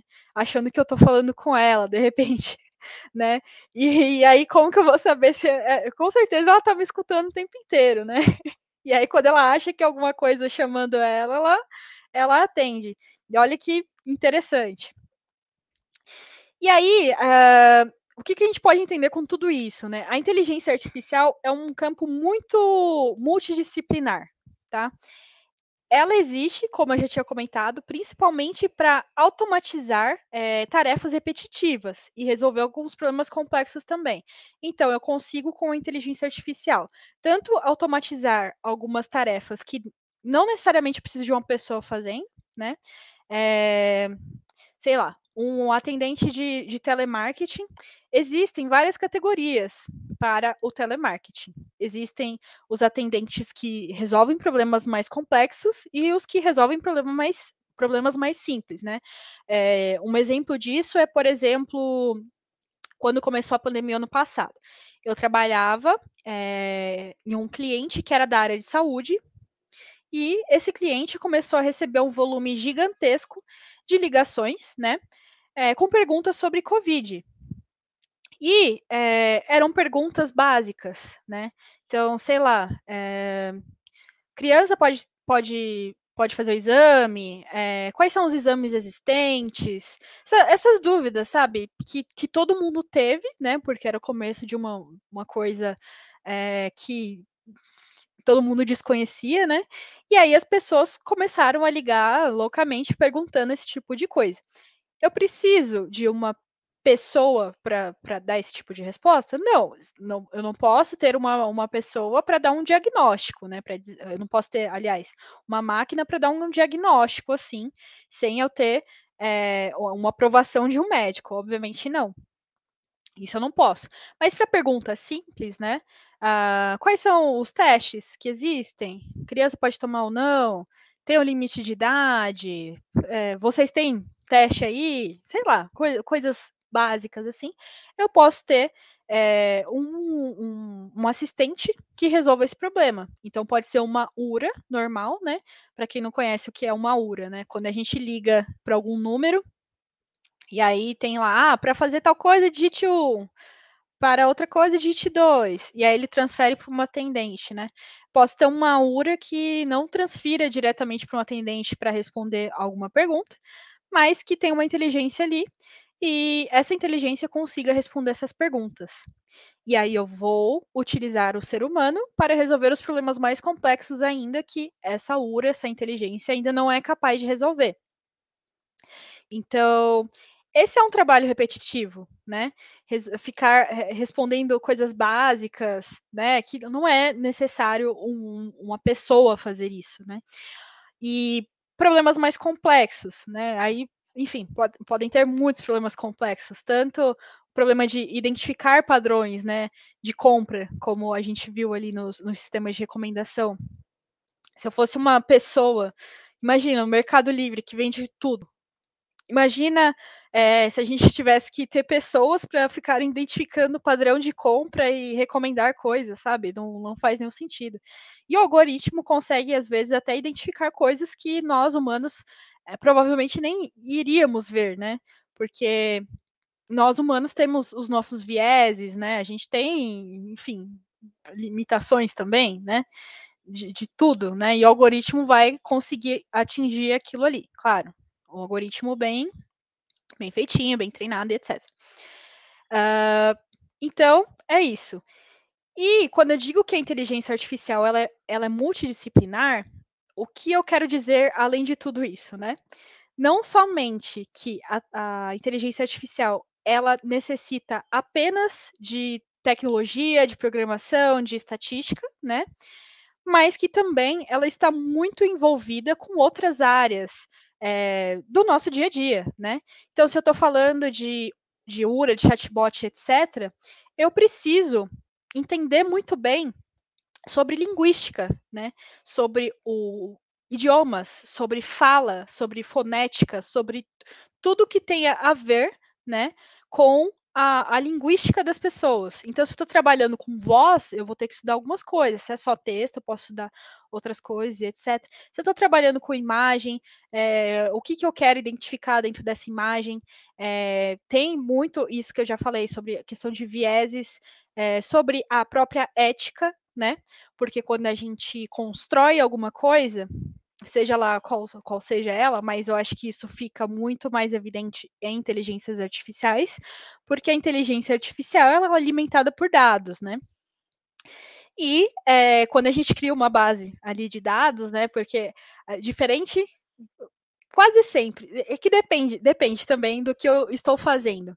Mas sei lá, se eu quero fazer um, um classificador de imagens, né? Que identifique é, alguma coisa, sei lá, que identifique objetos ou, ou, situações, como naquele caso que eu mostrei do, do iOS, né, que identificava é, a, sobre o que correspondia a cada imagem, fazia uma classificação ali dentro de pastas.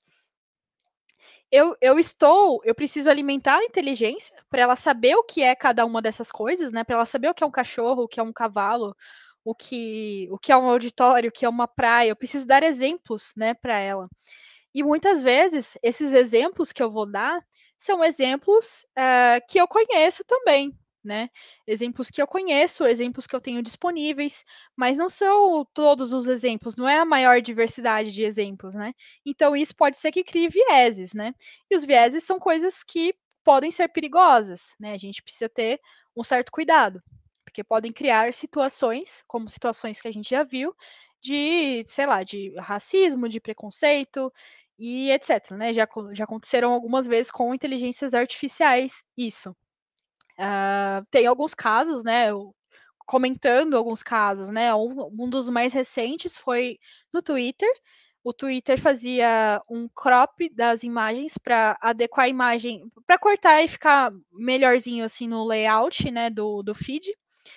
E aí algumas pessoas repararam que, que ele cortava, ele, ele cortava sem necessariamente cortar, era só um foco, né, que ele dava ali na, na imagem. Eu não, não, não sei se tem um nome certo para isso no, na programação, mas enfim.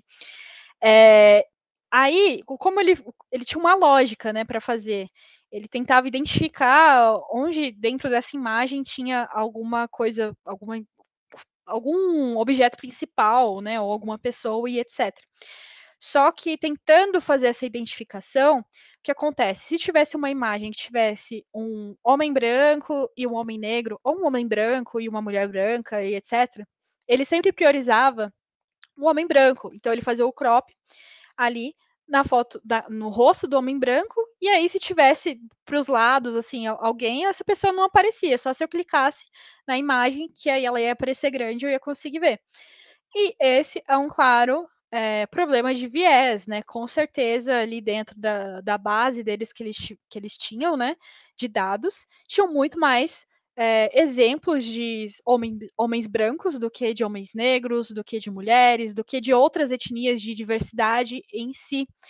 E isso é, acaba impactando não só no, na tecnologia em si, mas a gente consegue ver que isso é um, acaba se tornando até um problema social, né? Porque a inteligência artificial acaba sendo um reflexo daquilo que a gente ensina para ela, né? E nós somos pessoas. Se a gente ensina o que a gente aprendeu na vida, né, o que a gente é, ela vai acabar aprendendo os nossos, os nossos defeitos também, né, não só uh, as coisas boas, né. Esse foi um caso recente, mas tem vários outros casos, né, que quando vem a público é, é, é bem complicado, né, bem chato. É, não é só você entrar no chatbot e o chatbot não entender o que você fala, né? É uma, uma questão muito mais complexa do que isso. Então, por isso, a gente tem que ter um certo cuidado com o desenvolvimento ali da inteligência, um certo cuidado com os dados e com tudo que a gente vai fazer. Responsabilidade, né? É, trabalhar com times diversos, porque a partir do momento que eu consigo ali, né, eu criei alguma coisa e eu consigo mandar para outras pessoas que são diferentes de mim testarem, né, elas vão encontrar é, diferenças, né? Elas vão encontrar diferenças que elas vão encontrar problemas, né? Não só de bug, né? Mas vão encontrar coisas que não estão acontecendo ali e que eu não tinha percebido, porque eu já estou ali, né? É, já, já tenho o, o, próprio treino né, na minha cabeça de como as coisas têm que ser. Então, beleza, né? A, entendemos né, isso. É, além de tudo isso que eu falei, a inteligência ela, artificial ela é multidisciplinar também, porque quando é, eu preciso usar inteligência artificial para ensinar a máquina alguma coisa, né? Sei lá, área de medicina, que é hiper difícil, né? Eu tenho que ter muito conhecimento sobre medicina para eu conseguir ensinar a máquina sobre aquilo, né? É, então, eu trabalhei eu já trabalhei em diversos times e muitos times onde os, os cientistas de dados é, eles não eram pessoas de tecnologia, eles eram pessoas, sei lá, por exemplo, médico, né, um médico que é, depois de um tempo decidiu estudar ciência de dados também. E aí ele era a pessoa que criava ali o algoritmo da empresa para determinada coisa, né? Porque ele tinha um autoconhecimento sobre a, aquele, aquela área, né? Aquele negócio. Isso muitas vezes é extremamente importante para a inteligência artificial. A gente tem que ter um conhecimento muito grande sobre o negócio para que a gente consiga criar inteligência que realmente saiba sobre aquilo, né? E, enfim, por, por, por tudo isso, a inteligência artificial é extremamente multidisciplinar, não só programação e etc. E aí, a gente acaba entrando uh, na área de linguística, né, que é o processamento de linguagem natural, Natural Language Process, que é o NLP. É, NLP é bastante, é um termo já mais popular, eu, eu acredito em, em para quem está falando aí de ah, né? E, e, tem muita gente às vezes que fala esse termo NLP, mas nem sabe que se trata de, de inteligência artificial realmente, né? E eu vejo como uma das, uma das áreas que são mais populares no mercado, porque é muito.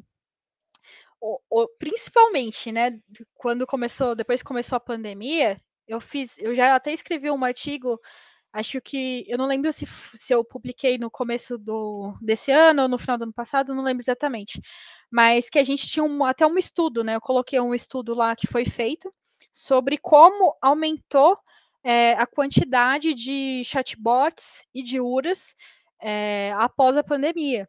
Justamente por conta daquele exemplo que eu dei, né, de um volume muito grande de pessoas com dúvidas sobre, sobre coisas de saúde, etc. Né? A, a área da saúde foi a que teve uma, um, um aumento assim, gigantesco mesmo é, porque, enfim, os, os atendentes eles não davam conta. E além dos atendentes não darem conta, eles também ficavam doentes, né? Então, se, é, se a, a, alguém pegasse Covid ali na, na empresa, né? Aí é, todo mundo tinha que ficar em casa. E como resolver? Então, eram várias problemáticas. E por isso teve um aumento muito grande. E o NLP é mais conhecido por conta dos chatbots, né? É, sendo que nem todos têm, têm NLP, né? O NLP é a inteligência artificial que vai, vai estar ali dentro, mas nem todos os chatbots necessariamente vão ter, vão ter NLP. É, bom, então, mas então vamos entender um pouquinho sobre ele. O que é, necessariamente é o NLP? Assim como tudo, ele é multidisciplinar e ele é, dentro dele, né, ele tem a interseção entre a ciência da computação, então eu tenho que ter conhecimentos sobre programação, né? Eu tenho que ter é, conhecimento sobre inteligência artificial, é, vai depender de, do que, que eu quero fazer dentro desse NLP, né? De qual qual, qual que é o, se é um chatbot, se é um, só um classificador, se é um tradutor e etc, para eu conseguir entender melhor qual tipo de algoritmo eu tenho que estudar, se eu vou precisar usar uma rede neural, se eu vou precisar ou não, eu posso fazer uma coisa mais simples, e aí eu vou aprofundando ali, tentando entender melhor sobre esse algoritmo, e da linguística, né? É, eu trabalho com muitas pessoas que são pessoas formadas em letras, e são pessoas que é, foram para essa área de NLP, porque faz total sentido, a gente tem que ter um conhecimento muito grande sobre linguística, né? Então, normalmente, um profissional que trabalha com isso tem que ter bastante conhecimento sobre todas essas áreas, tá? É... E as aplicações, né, são, que são mais populares, né, os chatbots Azuras, que eu já falei, tem os tradutores, né? Os tradutores, hoje em dia, eles são mais inteligentes. Eles conseguem não só fazer um, um depara, né, de uma palavra de em um idioma para uma palavra em outro idioma, mas ele consegue, é, de alguma forma, tentar entender de fato o que, que aquela pessoa falou, o sentido do que aquela pessoa falou, e alguma coisa que seja próxima em outro idioma, porque tem palavra que a gente não vai ter em mais de um idioma, né? Tem os geradores de texto também, então eu consigo, a partir de uma base, é, tem muitos exemplos, tem um site que chama Kaggle, que é um site onde você consegue bases de dados para fazer várias coisas com inteligência artificial e também tem algumas é, algumas competições lá que o pessoal lá faz de quem consegue fazer o algoritmo mais rápido e, e várias coisas assim, é bem legal. Uh, e aí tem várias bases para gerar texto, tem vários desafios. Tem os desafios de tipo, você tem vários livros de determinado autor, e aí, baseado nessa, nesse dataset enorme aí de, de, vários, vários textos, né, vários livros de algum autor, você cria um algoritmo que vai gerar é, um livro novo sobre outra coisa, né, um, é um livro novo, só que ele tenha o mesmo estilo de escrita, né, desse autor. É, tem, tem muito isso também, que é, que é, mais popular, né? Que o pessoal mais posta mais sobre quadro, né? Então você consegue ensinar para IA vários, dar vários exemplos de vários quadros de algum pintor, e aí ela consegue aprender como é que é o traço, como é que é a, a pintura, né? O, da, daquele daquele pintor e criar um, um, quadro novo. Tem bastante agora com essa questão de deepfake, né? Você conseguir pegar vários áudios de uma pessoa.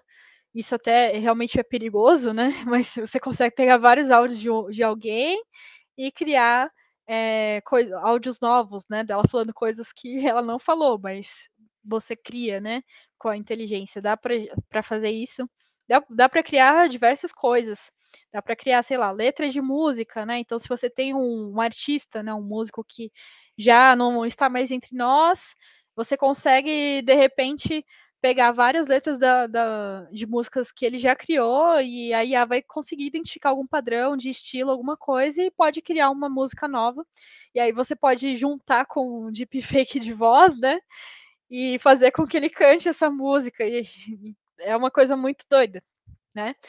É, e tem muito também a captura de texto e imagem, então acho que os aplicativos de pagamento, acho que de banco, acho não necessariamente de banco, mas alguns de pagamento tem bastante isso, né? Que você aponta a câmera do seu celular para o seu cartão, e aí ele vai conseguir capturar os numerozinhos, vai conseguir capturar o seu nome e tal, os dados certinho.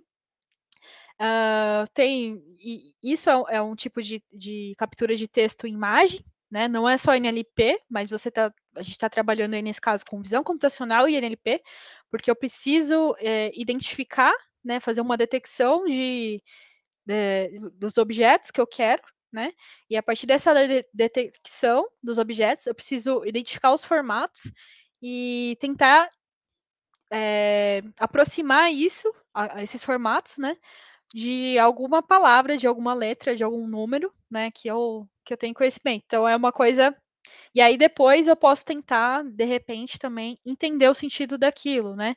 Que é mais comum quando a gente trabalha, sei lá, já trabalhei em projeto assim também. É, sei lá, você tem um PDF. O PDF também é uma imagem.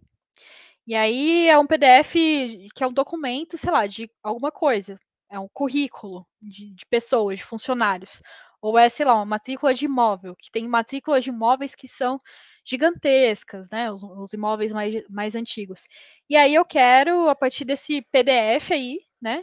Imagina que seja PDF, PDF mesmo, não é um Word, né? É um, é um PDF.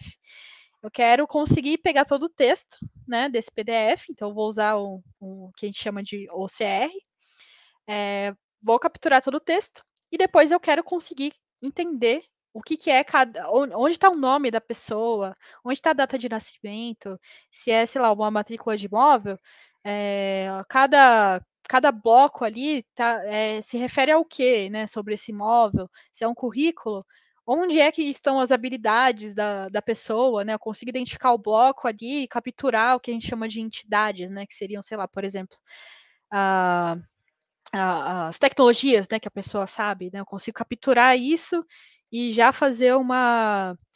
É, eu consegui saber quem, quem vai ser o, a partir dos currículos que eu tenho, né? Conseguir saber quais são os candidatos melhores aqui para eu, eu avaliar, né? Se eu tenho muitos currículos, para avaliar e para chamar sem precisar olhar tudo na mão. Dá para fazer tudo isso com o NLP, dá para fazer muita coisa com o NLP. É, muito dessa. Uma coisa legal também que tem é, nos próprios corretores, né, ortográficos, quando a gente está escrevendo alguma coisa, ele não só é, diz quando você, você escreve a palavra errada, né? Que fica vermelhinho embaixo, mas às vezes quando tem algum erro de gramática, alguma coisa assim, fica aquele, a, aquela linha azul embaixo também. Isso também é NLP. Tem NLP em muita coisa, tá? Além, além de tudo, além dos chatbots, né? E aí eu, os exemplos ali que eu dei, né? Os corretores. Então o corretor consegue identificar, nesse caso aqui é bem bem, bem básico, né? Uma palavra que está realmente escrita errada, né? Mas poderia ser também um, um problema de gramática. Os tradutores, os tradutores de texto, de voz, as conversas em tempo real, que são coisas que estão bem é, popularizadas agora. Tem bastante, vários, vários aplicativos, né? O, o Instagram coloca e tira, pelo menos na, na minha conta, né? É, o, o, o, tradutor então, às vezes, quando você segue alguém que posta alguma coisa em outros idiomas, é, a pessoa escreveu alguma coisa lá em russo, né? E você consegue ver a tradução daquilo que a, que a pessoa falou. Eu acho que não está mais disponível, pelo menos para o meu, não está disponível. Espero que volte um dia. É, tem, tem essa parte de conversa em tempo real, né? Que é um sonho de todo mundo. Imagina quando a gente conseguir usar um, um aplicativo bom de verdade, né? Alguma coisa boa de verdade para você falar com, com, pessoas de qualquer lugar do mundo sem a preocupação, né, de como você está falando, se está falando certo, errado, etc, né? Mas já já estamos evoluindo muito nisso, né?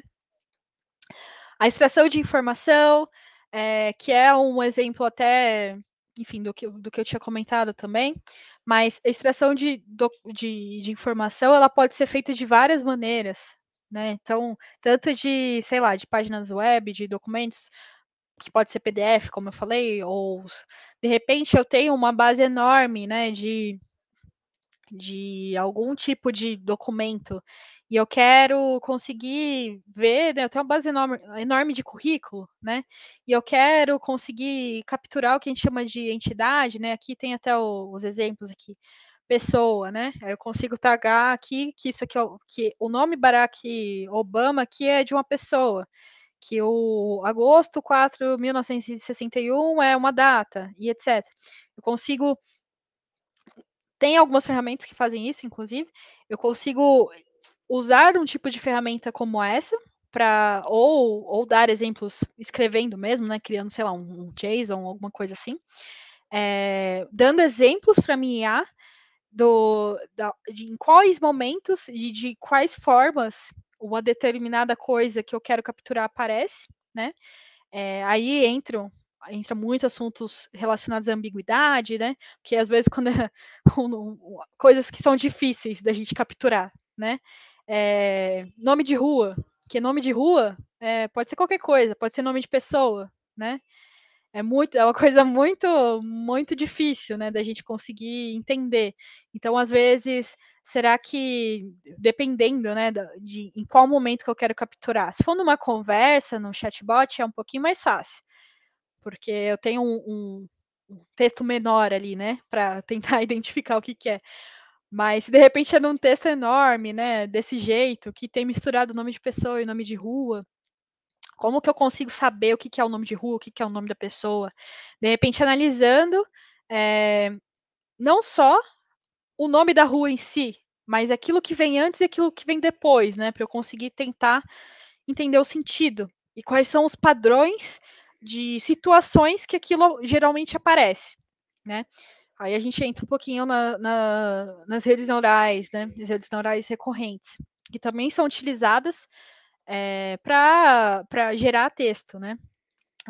A, a, rede neural consegue, de alguma forma, né? A gente cria uma, uma rede neural com, com estatística, né? Com, com matemática, com algoritmo, né, que vai tentar de alguma forma simular, tenta de alguma forma simular a, a nossa própria rede neural, mas existem várias, várias, né, da, relacionadas à inteligência artificial e que são mais especialistas em alguma coisa, né? Então, para para parte de texto, a gente tem a, uma rede lá, que é a, a, uma rede neural recorrente, que vai conseguir pegar uma determinada parte do texto e ela vai ter uma memóriazinha que ela consegue ver também o que, que veio antes, o que, que vem depois, para conseguir saber é, sobre o que, que você está falando, né? Você está falando é, do, da, do, do Manuel, mas é o Manu, a Rua Manuel ou é o Manuel Pessoa, né?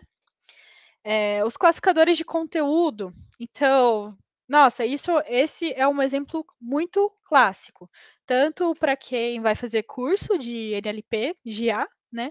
Ou, enfim, da nossa vida, né? Porque quem tem um e-mail tem a, a de spam, né? E o que basicamente é, né, no seu e-mail ali, o que é o que é spam e, e, e-mail normal, né? É o que a gente chama de classificador, que é a mesma coisa que vai ter dentro do chatbot, né? Ele consegue identificar um padrão, né? É, que normalmente tem ali em e-mails spam, né? E mandar para uma pasta. E esse padrão, ele pode ser até de coisas básicas, né? De um e-mail estranho, é, link, imagem, ou coisas mais complexas também, né? Então, a forma que esse texto é escrito, né? É uma forma muito spam, uma forma diferente, né? É, então eu consigo classificar isso e dizer que é spam. É um outro exemplo de classificador de conteúdo, né? É quando a gente consegue fazer, sei lá, análise de sentimento, que também é legal, uma coisa muito legal para usar, dá para usar em um monte de coisa, né? Mas sei lá, dá para usar no, no bot, né, no chatbot ou na URA. Eu consegui identificar é, o sentimento, e eu nem estou falando de entonação da voz, tá? Porque isso é muito mais complexo. A, a máquina conseguir entender entonação ou, ou conseguir entender ironia, né? Isso é, é nem sem comentário sobre isso. Mas é, eu consegui entender mais ou menos, né, se aquela, se aquela pessoa, de acordo com aquilo que ela está falando, pode ser desde o começo do meu contato ou desde aquele momento, se ela está satisfeita ou se ela não está satisfeita, se ela está com um sentimento ali negativo, etc. Consigo fazer e dá para aplicar em um monte de coisa, né? Essa parte de, de, análise de sentimento, e nada mais é também do que um, do que um classificador. E os classificadores, eles funcionam normalmente assim. Esse aqui é um, um exemplo, né? Só é, de, de classe positiva e negativa, que é mais ou menos do que eu falei.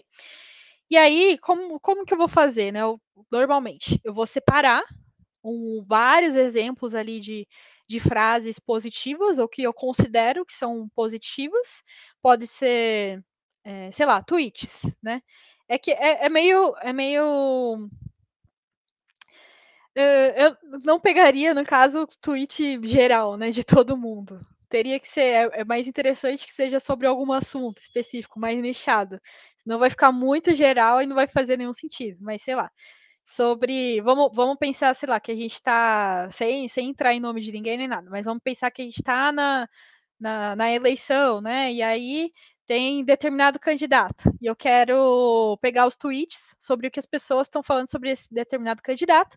E eu quero entender se são co mais coisas positivas ou mais coisas negativas, né? Etc. Dá para eu criar um algoritmo para isso.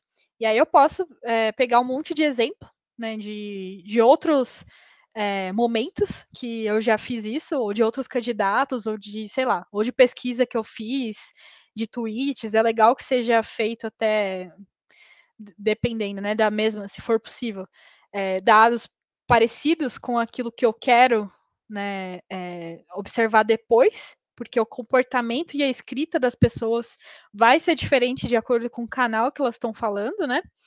É, e aí eu, eu, pego todos esses exemplos, pego um monte de exemplo, tagueio ali, digo que aquilo é positivo, tagueio o outro e digo que é negativo, jogo no meu, no meu algoritmo de classificação, que vai ser, enfim, pode ser mais simples, um básico algoritmo de frequência de palavras, que eu vou só contar a frequência que palavras importantes é, que dão um sentido para aquela frase aparecem em cada uma das, da, das frases ali, né, dos tweets positivos e negativos. E aí, quando chegar um tweet novo, né, eu consigo fazer uma continha ali para ver qual provavelmente é o, o, a classe que aquele, que aquele tweet pertence, né? Ou eu posso fazer uma coisa mais complexa, dependendo do que eu quiser, como usar uma rede neural, né? Que é, que é uma coisa bem mais complexa, posso usar, sei lá, um, um algoritmo de bias, sei lá, tem muitas coisas que, muitos tipos de algoritmos, aí vai depender do meu problema, eu vou ter que identificar o tempo que eu tenho, a máquina que eu tenho, as necessidades para eu entender o que, que vai melhor, né? E também, é, o que, que vai melhor também porque, assim, é, sei lá, no, nesse exemplo que eu dei, né, de algoritmo de que eu vou fazer, contar a frequência das palavras, né, é um algoritmo mais burro, né, é, então, se ele for contar só a frequência, se eu falar assim, é, eu, eu não te amo, ou eu te amo, né, para esse algoritmo, vai ser muito difícil identificar a diferença entre as duas frases, porque é, ele não é um algoritmo que tem uma memória, né, para ver, para considerar aquilo que vem além da palavra, né, o que vem atrás ou aquilo que vem depois, para dar um sentido naquilo. Pode ser que ele ache que ambas as coisas são, são a mesma coisa, são parecidas, e aí vai, vai dar classificações erradas. Ah, enfim, vou passar no algoritmo, né, no algoritmo que eu tenho, e aí, é, enfim, eu posso fazer uma, criar uma base de treino, né? Eu faço uma base de treino ali e separo um pedaço dessa minha base só para eu fazer teste, só para eu ver se está legal ou não está. E aí ele, eu jogo no meu algoritmo, ele vai me trazer a resposta. E a partir disso eu consigo também fazer as melhorias, criar métricas, é, conseguir ver ali o quanto que ele está acertando e errando, se tem o que está mais parecido, mais próximo é, do. Em chatbot a gente usa muito isso, porque imagina que o chatbot é quase isso aqui, só que ao invés de ser positivas e negativas, são, por exemplo, é, sei lá, se a gente está falando aqui de financeiro, né? É, imagina que é algum banco, né? A gente pode ter aqui uma pergunta sobre limite, uma pergunta sobre status do meu cartão. É, pedi um cartão e o cartão não chegou ainda. Posso ter, sei lá, uma pergunta sobre. E aí vai ser a mesma lógica, vou ter vários exemplos dentro, né, no caso da, das sentenças, né? Vários exemplos de, de frases sobre aumento de limite, etc., vários exemplos de frases sobre sentença de cartão e, e etc., né? Uh, e, enfim, é, é, basicamente um classificador que eu vou, vou ter, que eu tenho dentro de um, de um chatbot.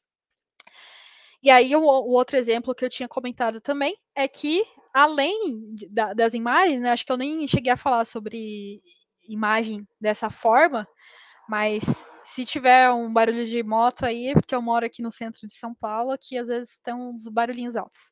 Desculpe.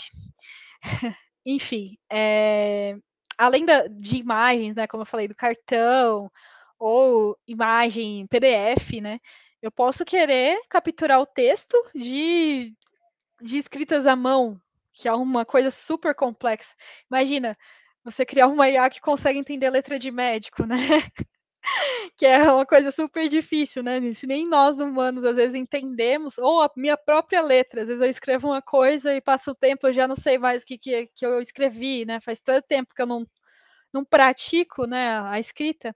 E você cria um IA que consegue é, observar aquela imagem e extrair aquele texto.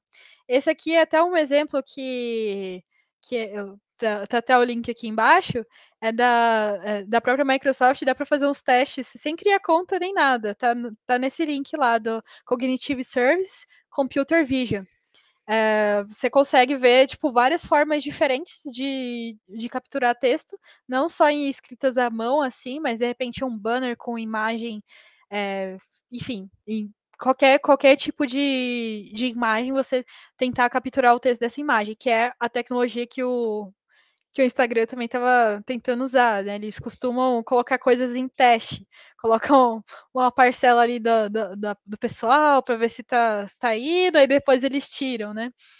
E é uma coisa bastante legal.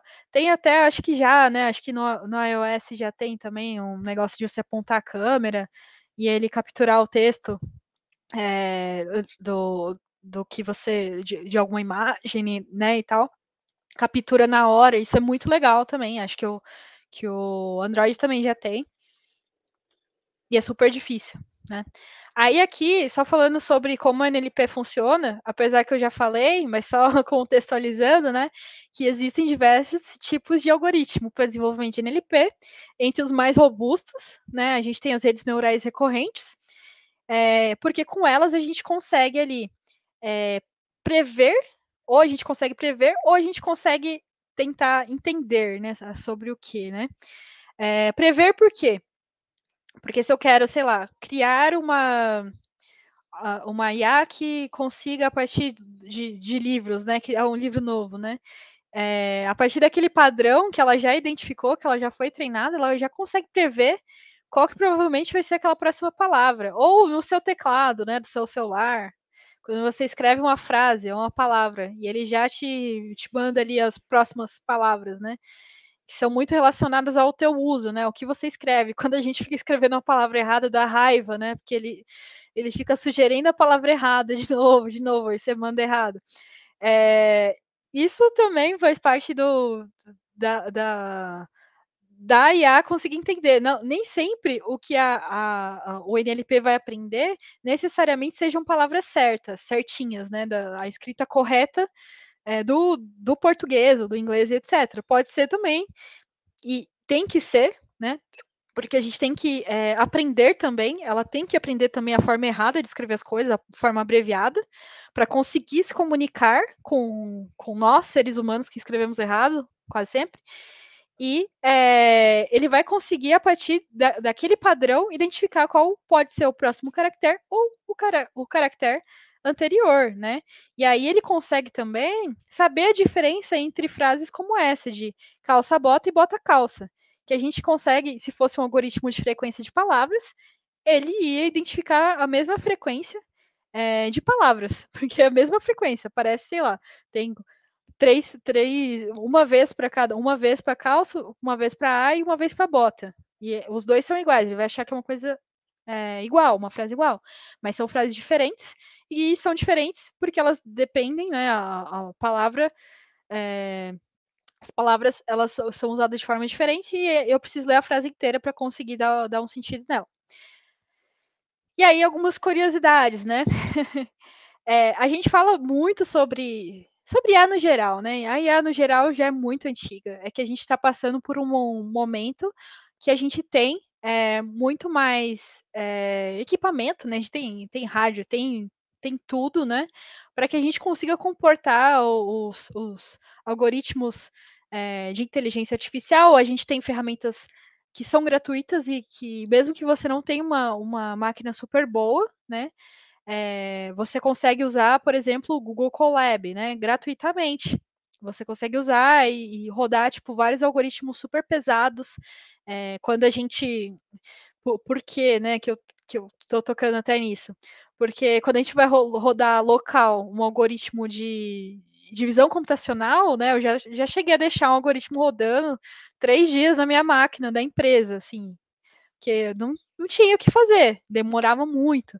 E o pior é quando você deixava três dias rodando e aí quando terminava estava errado, né? Aí você tem que arrumar e tem que rodar de novo. Então, enfim, dá para usar já o Google Colab, que tem ali disponibilizando para a gente é, máquinas fantásticas ali, super poderosas, que, que vai rodar o seu algoritmo muito mais rápido do que a sua máquina. É, e, antigamente, né, enfim, quando, quando tu, toda essa ideia de, de inteligência começou, a gente não tinha isso. E os próprios chatbots, os chatbots, eles não.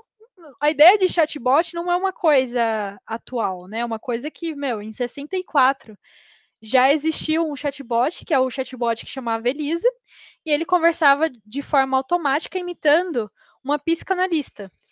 E ele usava as respostas baseadas em palavras-chave e estrutura sintática. Aí é claro, né, que ele era um chatbot que era uma coisa mais manual ali para escrever, é um chatbot que não, não tinha a tecnologia de hoje em dia. Mas a ideia e a própria execução né, do, do chatbot já existe há muito tempo. E isso é legal a gente, a gente saber também. E eu acho que foi isso. É, muito obrigada aí a todo mundo. Deixo, aqui tem as minhas redes também, aí para quem quiser mandar feedback, ou fazer pergunta, ou enfim, qualquer coisa. É, acho que é isso. Falei bastante, ó. Falei uma hora. Eu mais, né? A gente conseguiu acabar um pouquinho antes do Matheus, né? Eu falo muito, né? Falo muito. Muito obrigada, Espero que você tenha curtido aí. Obrigada pela presença, por ter aceitado o convite. O pessoal está curtindo aqui, ó. Mandaram aqui algo de vibes. Parabéns. Obrigada, Muito gente. Top. Realmente é, é, bem, é bem legal, né? Essa, essa parte de inteligência artificial, a gente usa bastante nos projetos. E é legal entender, né? Todos esses conceitos que muitas vezes a gente não sabe. O pessoal entender um pouco mais isso aí, sair um pouco do técnico, entender todos esses conceitos aí é bem interessante, né? Muito legal a mesma palestra, Com viu, certeza. Com certeza, eu acho muito legal também. Legal. Bom, pelo menos até agora não tem mais nenhuma dúvida. Pessoal, aqui tem os contatos da Letícia, se vocês quiserem depois encher ela de pergunta. Mandem perguntas para ela aqui, tem um LinkedIn, o pessoal está agradecendo. Aqui é o Cristiano, o Aloísio. Parabéns mesmo, viu, Letícia? Foi bastante conteúdo aí para a gente conseguir falar em uma hora. Foi muito legal. E, e convido todo mundo também para assistir as demais palestras no, nos, nos, outros dias da semana a gente vai ter mais conteúdo, falando também de algumas coisas de inteligência artificial. E é isso, pessoal. Hoje a gente encerra aqui com a Letícia o segundo dia do Data Engineers Conference. Espero que vocês tenham curtido. Essa live da Letícia também vai ficar gravada no canal. Depois, Letícia, se quiser subir, eu te passo o link direitinho. Se quiser publicar em algum canal seu. E o pessoal consegue assistir essa palestra novamente, quem perdeu aí. Beleza? Quer dar mais um recadinho aí, Letícia? Beleza. Ah, sobre o. Tem, Tem uma pergunta ali. Alguma... Aqui, uma sugestão. Olha, de... ou projeto. Eu cheguei... eu cheguei a comentar, eu acho que curso. Curso eu não vou indicar, não, que eu acho que é meio complicado indicar curso disso, muito específico, assim. Tem alguns que vocês podem achar lá na, na Udemy, etc., que são cursos básicos, que ensinam algumas coisas.